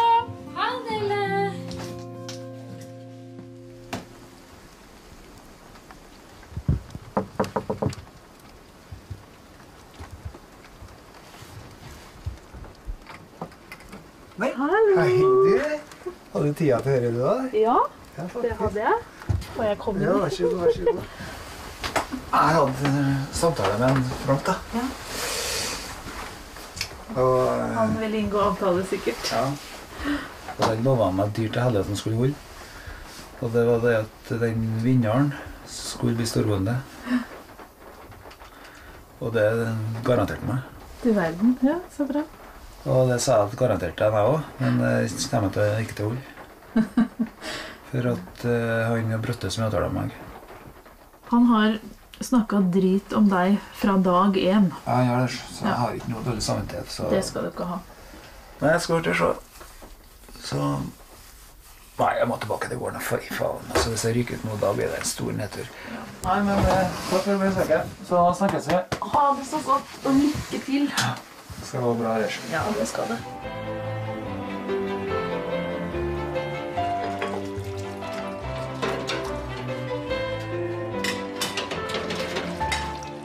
Jeg er sjukt spent på den kampen i morgen. Ja, det blir spennende. Jeg lurer sånn på hvem som vinner. Fikk du med deg det Olav sa nede? Nei.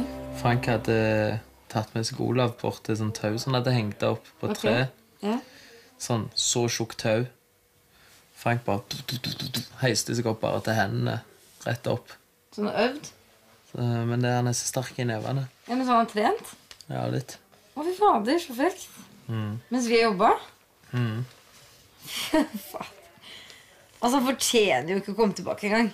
Nei, han fortjener ikke en drit. Jeg skulle hilse. Var han klar? Du, han var eh, kjempeklar. Han følte seg fresh og fin. Ja, ja.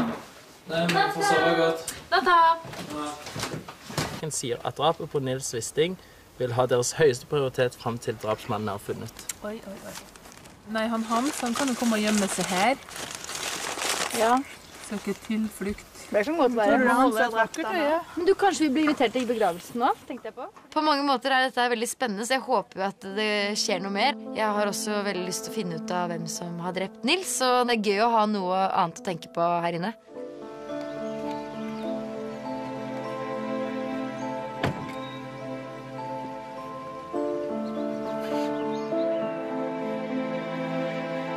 Finn Olav og Frank skal snart møtes til tvekamp. Finn Olav er andrekjempe og får derfor bestemme hvilken gren det skal kjempes i.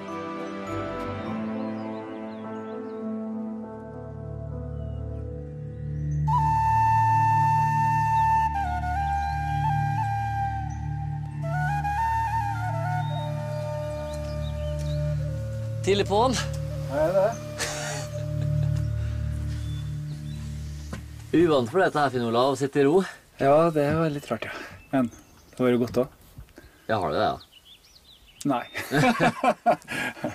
det har vært en trassig morgen, ja. Det rett og slett uvant å ikke jobbe nonstop. Ja, det er litt uvant å stå opp når en er borte her og ikke få ta tak i noe, men eh, det har vært godt å slappe av litt òg. Men skjønner du at det kan være irriterende for noen at du jobber så mye? Ja, det kan jeg godt forstå, men eh, da kan jeg heller bidra. Jeg masa litt på det i begynnelsen, men det slutta jeg med. Så tar jeg heller sjøl. Nå er vi altså i den sjette uka, Finn Olav. Det er bare tre-fire uker igjen før vi er i finaleuka. Mm. Og eventuelt at du kan vinne hele Farmen. Mm. Tror du det er mange som vil at du skal tape i dag? Nei, egentlig så tror jeg ikke det er så mange som vil at jeg skal tape i dag. Eh, Men jeg frykter at jeg kommer ut i kamp neste uke òg. Da tror jeg det er mange som vil at jeg skal tape. Men eh, jeg tror nok at de fleste vil ha vekk en Frank nå. Jeg eh, forstår ikke hvordan han tenker. For Mm. at eh, han er ikke er med og bidrar i hele tatt. Men like forbanna skal jeg si, så sitter han på matbordet og forsyner seg like mye som oss andre av maten. Og det irriterer meg. For egentlig så har jeg sagt det før, jeg skulle nekta han mat. Han kunne fått satt det ut og spist råpotet. Ja, hvis du var storbonde, da hadde ikke han fått sitte ved middagsbordet. Nei, jeg eh, har kommet til å slie hardt ned på det. Han måtte ha bidratt heller, så han, han har ikke fått sitte attmed oss. Han skulle fått sitte på kjøkkenet. Men nå ble du valgt da som andrekjempe. Ja. Som andrekjempe så har du fordelen av å kunne velge grein. Øvelsene andrekjempen kan velge mellom er melkespannholding, kunnskap, øksekast, tautrekking, saging og slegge. Alle venter på en kjempekamp i dag. Ja, de gjør nok det. De skal få en kjempekamp. Men de skal ikke få den greina som de venter med. Nei, for alle tror det blir tautrekking. Ja. For han, Frank har utfordra meg på tautrekking. Hva tror du andre på gården vil si når de får vite at du ikke har valgt tautrekking? Det er én som kommer til å bli forbanna, og det er en Frank. Men eh, jeg skylder han ikke noe unnskyldning for det. Finn Olav, hva vil du møte Frank til i dag? Da vil jeg ta det som jeg er sikrest på, og som koster meg minst, og det er kunnskap. Hvor sikker er du på å vinne, da? Nei, altså, Jeg må si at jeg er 99,9% sikker på det. Lykke til, Finn Olav. Takk for det. Snakkes snart igjen.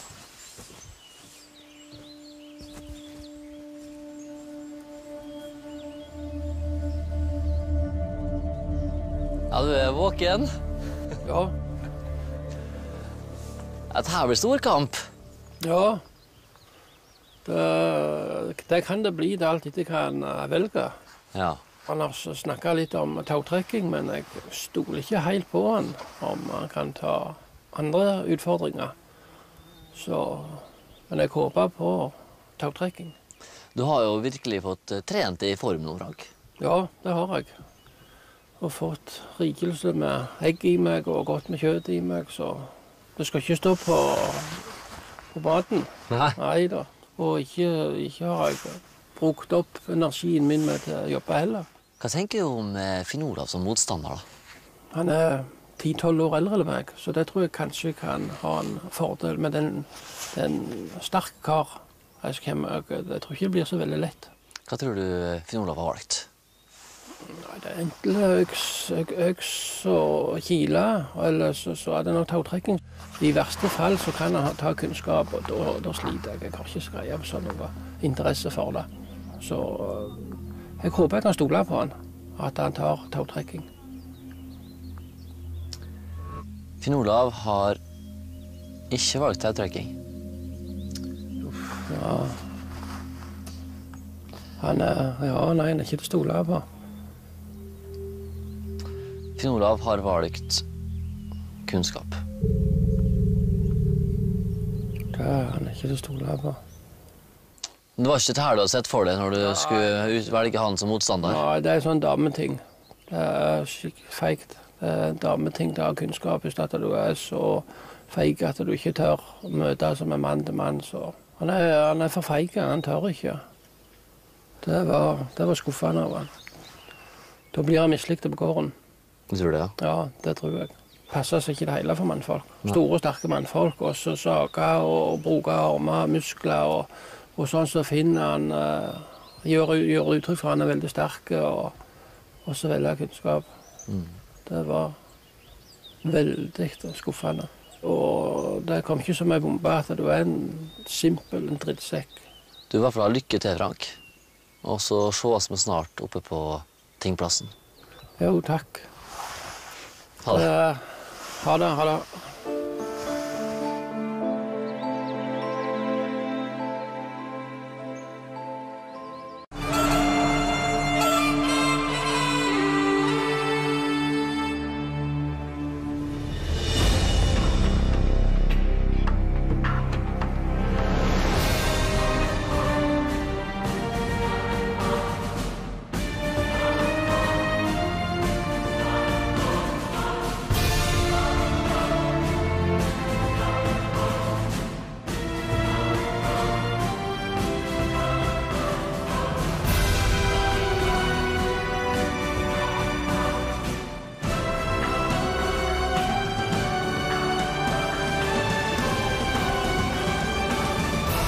Velkommen til det sjette tinget.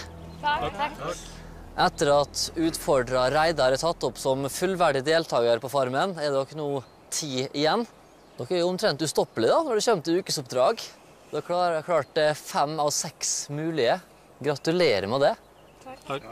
Og det betyr også at du, Alina, som storbonde får en finalekniv. Ja. Og dette blir jo din andre finalekniv. da. Ja. Vær så god. Tusen takk. Om litt blir det klart hvem som får bli, og hvem som må dra. Finn Olav og Frank er på vei hit.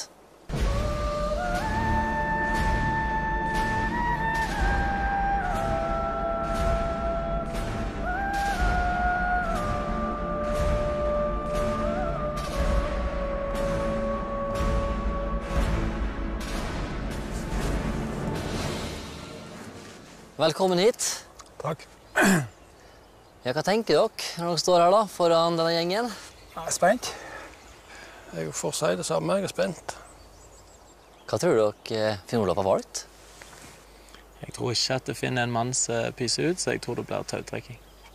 Jeg tror Finn Olav har tatt utfordringa og velger tautrekking. Tautrekking. Tautrekking.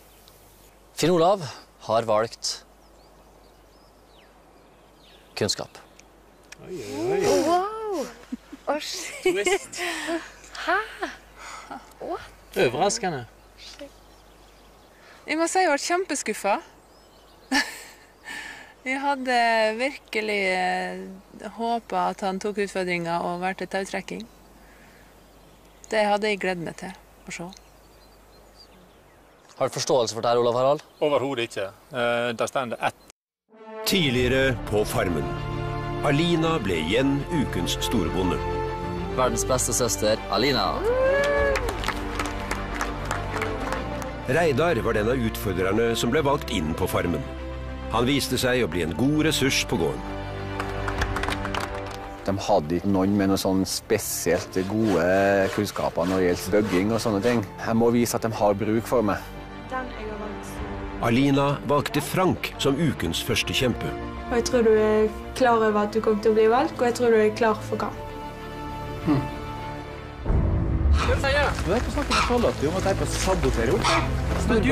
Alt. Frank og Finn Olav har hatt et konfliktfylt forhold på gården i ukene som har vært. Da Frank var storbonde, ville han velge Finn Olav som førstekjempe. Hvis at det skal være sånn at han Finn nå vet at han blir valgt uansett, så gidder ikke han å jobbe. Olav sørget for at Finn Olav ikke ble valgt til førstekjempe. Olav og Frank har blitt gode venner, Altså, altså. og Olav hjelper nå Frank frem mot tvekampen. Det er ganske tynt tau, dette. Tror du dette ned? Nei. De eh, andre har ikke peiling på at vi har en hemmelig plan.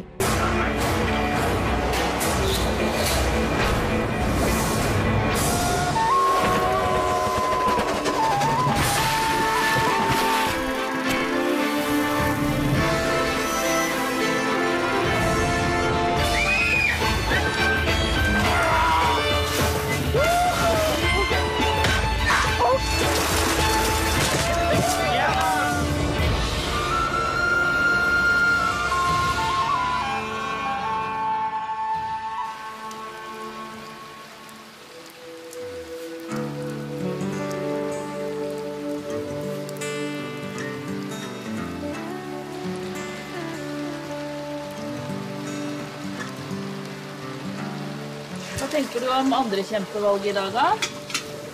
Nei, det er jo ikke spørsmål engang. Er du litt Gå i kamper. Wow, han er spent, tror jeg. Nei. Han sa ikke noe. Han sa han burde ikke gå og være redd for dette der. Ble det sånn, så ble det sånn. For ingen av dere har lyst til å tape for den andre. Nei. Det tror jeg blir tidenes nederlag. Mm. Hvem tror du vinner? da? Blir det Frank, eller blir det Finn? Jeg, jeg vet ikke. Jeg Vet ikke hva jeg skal tro om dere. Frank er blitt valgt til førstekjempe. Da har han sagt at han vil ha ut han Finn Olav. Så vi håper nå bare at alle holder det de har sagt de skal gjøre. Jeg håper at uh, du vinner fordi at eh, han finner, kan utrolig mye teori. God på mye allmennkunnskap. Vi går nå. Mentor er snart på vei for å inspisere ukesoppdraget, og det er fremdeles mye som gjenstår å gjøre.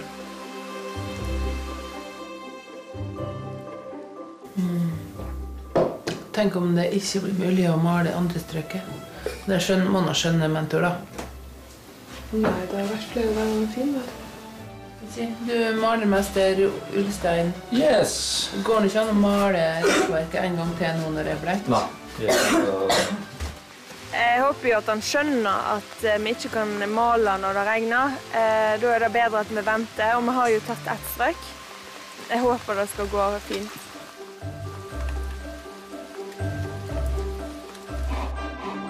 Magnhild og Reidar har jobbet med å lage vugga de siste dagene.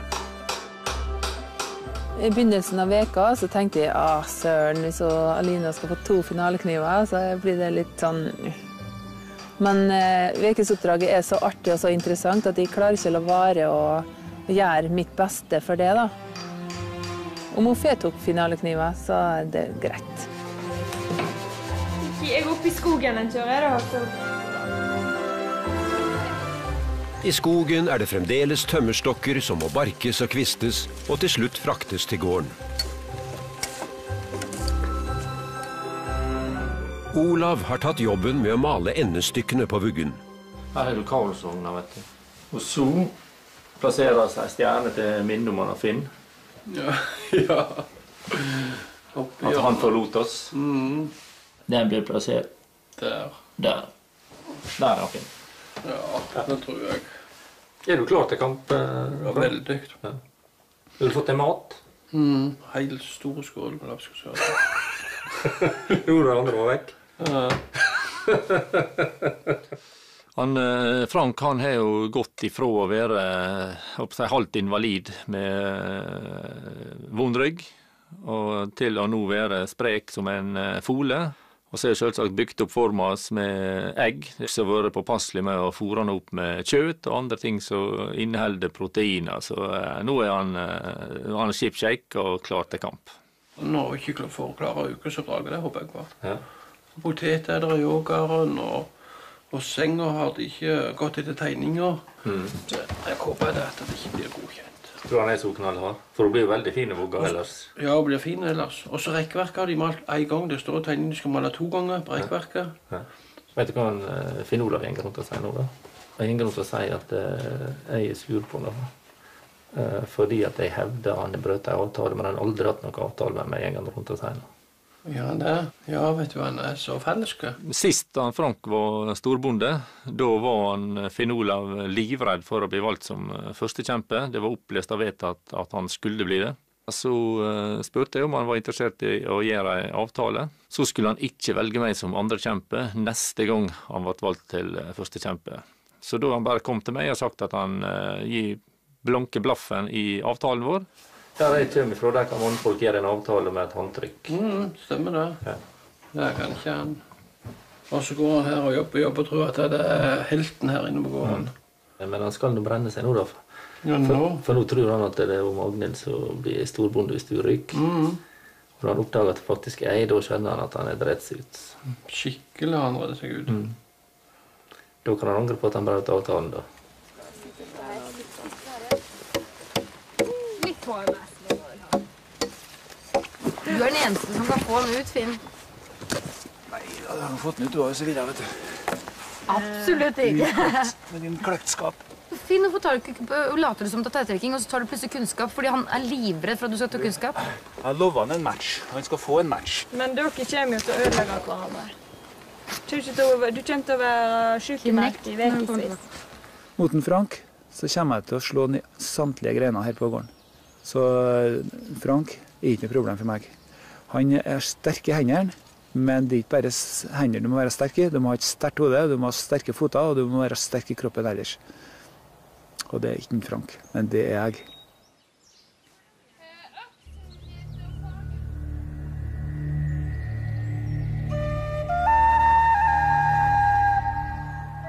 Mentor er på vei for å inspisere ukesoppdraget.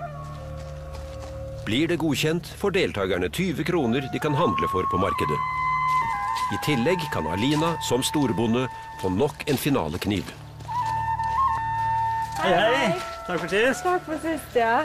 Er du med deg eh, I dag har jeg med meg folk fra Strand. De vil gjerne se litt på Vågga, vet du. De vil da, ja. Ja, da tar du med alle sammen. Ja. For det er litt koselig at eh, alle får se. Det er da. Ja, men da kan vi nedover. gå ned og kikke. Så her, ja. Ja, her er vågga vår. Her har vi produktet. Ja. Den var flott. Fine trenagler. Skal vi kikke litt inn i enda da, på mønsteret her, hva de er fine på. Oi, her er de fra nærmiljøet, ser jeg. Er det ti- fra gardsplassen? Så er du som er herre for det flotte maleriet der. Ja, men det var eh, virkelig moro å se. Men Da tror vi vi avslutter her, og så går vi eh, videre. Så her, ja. Her har vi Lunna. Nå vil vi kikker litt på slinninga, om dere har fått eh, bært skikkelig.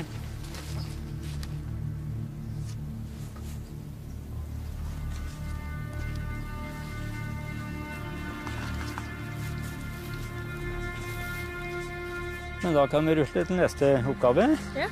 Ja, her er dere malt over nå. Ja, men eh, vi mangler ett strøk. Gjorde det? Fordi at eh, det regna sånn i går, skulle vi ta det. Så da fant vi ut at det var bedre å vente enn å male når det var vått. Ok. Vi fikk ikke to strøk samme dagen. Nei. Du klarte ikke det? Nei. Akkurat. Nei, jeg ser det mangler her. Det perles nok litt, men eh, jeg ser jo tydelig at det, det mangler her. Mm.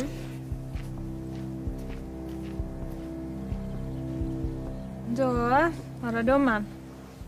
Kan begynne med Vågård. Den var dere jo med og så på, og den var han veldig, veldig fornøyd med. Den var kjempebra. det var ingenting å si på den. Brenneriet hadde fått uh, hele fine poteter og masse poteter. Og så var vi og så på eh, tømmer. Det stemte med antall, men det hang en del bark igjen. Han var ikke helt fornøyd med barkinga. Um, og så var det malingen.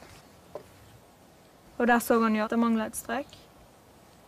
Men han forsto òg at eh, det var bedre å vente kanskje enn å klatre på det når det var vått. Så vi fikk det godkjent! 20 kroner. Veldig bra. Så bra jobba, alle sammen. Takk. Åh, takk. Gratulerer sjøl.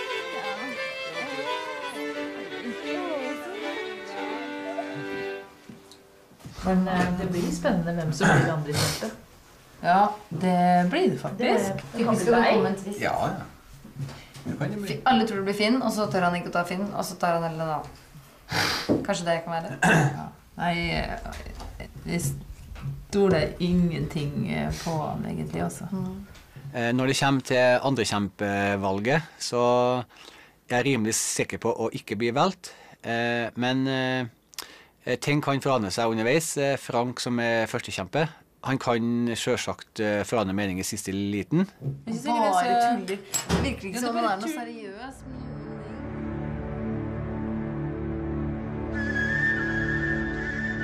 Tiden har kommet. Det er klart for andre kjempevalg.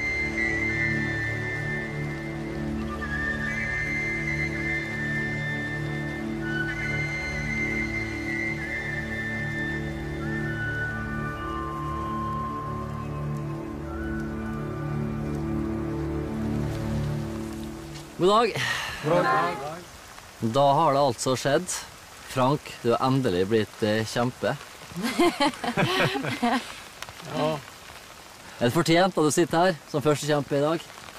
Ja, det vil jeg si. Jeg har gjort litt lite i det siste på gården, så det vil jeg si. Det er fortjent. Ja, for det er jo du, Frank, som førstekjempe som får velge motstanderen din. Ørjan, føler du deg usikker på om det blir du som må i tvekamp? Ja, jeg føler meg usikker. Du vet aldri hva Frank finner finner på for noe, men eh, det blir spennende å se. Reidar, velkommen inn i Farmen-familien som en ekte deltaker. Takk for det. Nå sitter du her som det nyeste skuddet på stammen. Er det du som må kappes først? Jeg håper ikke det. Eh, men eh, Jeg velger å tro at det ikke blir med, da. Ja, Finn Olav. Er det nå, endelig, du skal få lov å komme ut i tvekamp? Ja, nå har jeg muligheter. Så hvis Frank holder det han har sagt nå, så blir jeg eh, andrekjempe.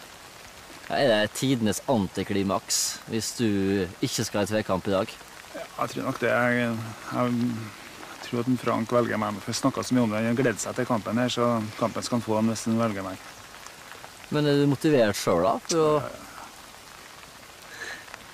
Alltid motivert. Men nå var jo valgets time her. Frank kan velge hva man vil. Burde han velge noen andre? Hvis han skal være sikker på å komme tilbake, kanskje. Hva bør han ta, da? Reidar, kanskje? Reidar er lettere å slå enn Sorry. Reidar. Ja, jeg, jeg takler den. Han, Reidar er sist ankommet, og han er nok den letteste av karene her. Ikke dermed sagt at han er lettest å slå i hva som helst. Hva tror du, Alina?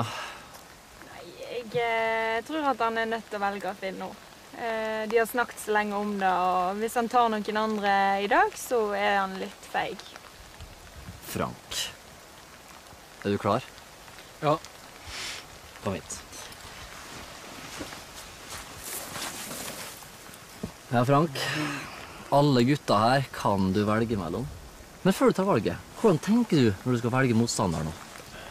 Jeg tenker jeg vil ha den som bidrar mest. Og som vi kan få slippe til litt sjøl på gården. Det har jeg eh, litt lyst til. Ok, Hvem vil du møte til tekamp i morgen?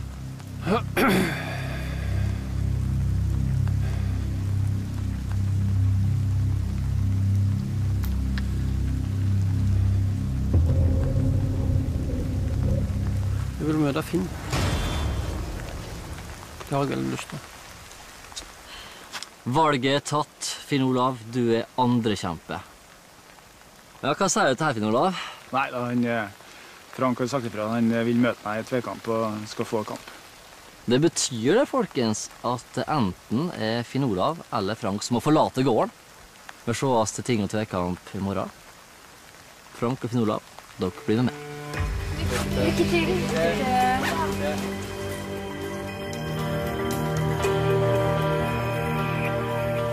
Blir det den kampen vi ventet på, da. Jeg gleder meg. Ikke Finn Olav Feige det, da. Ja, men jeg, han sa i dag at det, han kommer ikke til å gå vekk fra det altså. Jeg personlig har jo ikke noe ønske om at Finn skal velge tautrekking mot Frank i det hele tatt, og det har jeg sagt til han. Så jeg håper at han gjør noe annet. Men eh, vi får se. Det er Finn som velger det. Han jobba er tre uker. Han har veldig merkelig Han har vært dårlig i ryggen, skjønner du. Sånn som jeg ser det nå, så er jeg 100% sikker på at jeg sender en topptrent mann ut i tvekamp. Nei, dette blir spennende. Jeg gleder meg. Finn Olav er veldig viktig å få ut før, før finalen. Han er meget sterk fysisk. Han er kjempekunnskapsrik. Og jeg tror ikke han eh, skyr noen midler for å komme til finalen. Jeg har gledet meg til vi valgte som andrekjemper, nå, for at eh, Frank kan utfordre meg hele tida. Frank og jeg har vært litt oppi tottene på hverandre for at jeg mener han har vært lat. Jeg har ikke noe til overs for ham lenger, så jeg håpa på at han valgte meg som andrekjemper, og det gjorde han.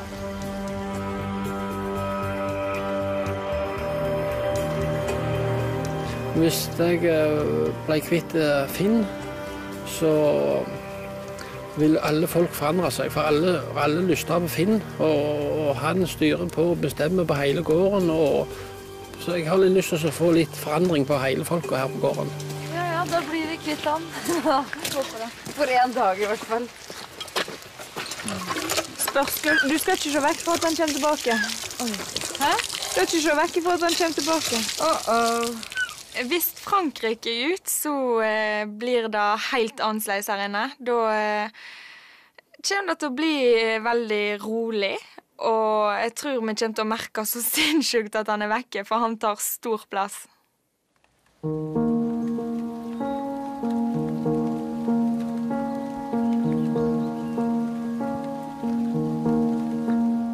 Skal vi ta oss og koke oss en kopp kaffe? Eller skal vi koke oss grøt først? Vi kunne drukket kaffe mens grøten lagtes til. Går det an? Jeg er ikke så greie på det. Du er ikke så forbanna at, jeg må lage min egen grøt? Hæ? Nei. Er vi uvenner, da? Nei, vi må Vi kunne klart å komme oss til her. Skal vi lage grøten til vann eller i melk, da? Nei, det, det er samme det. Her i kveld så blir det ikke noe vennskap. Jeg skal få han til å lage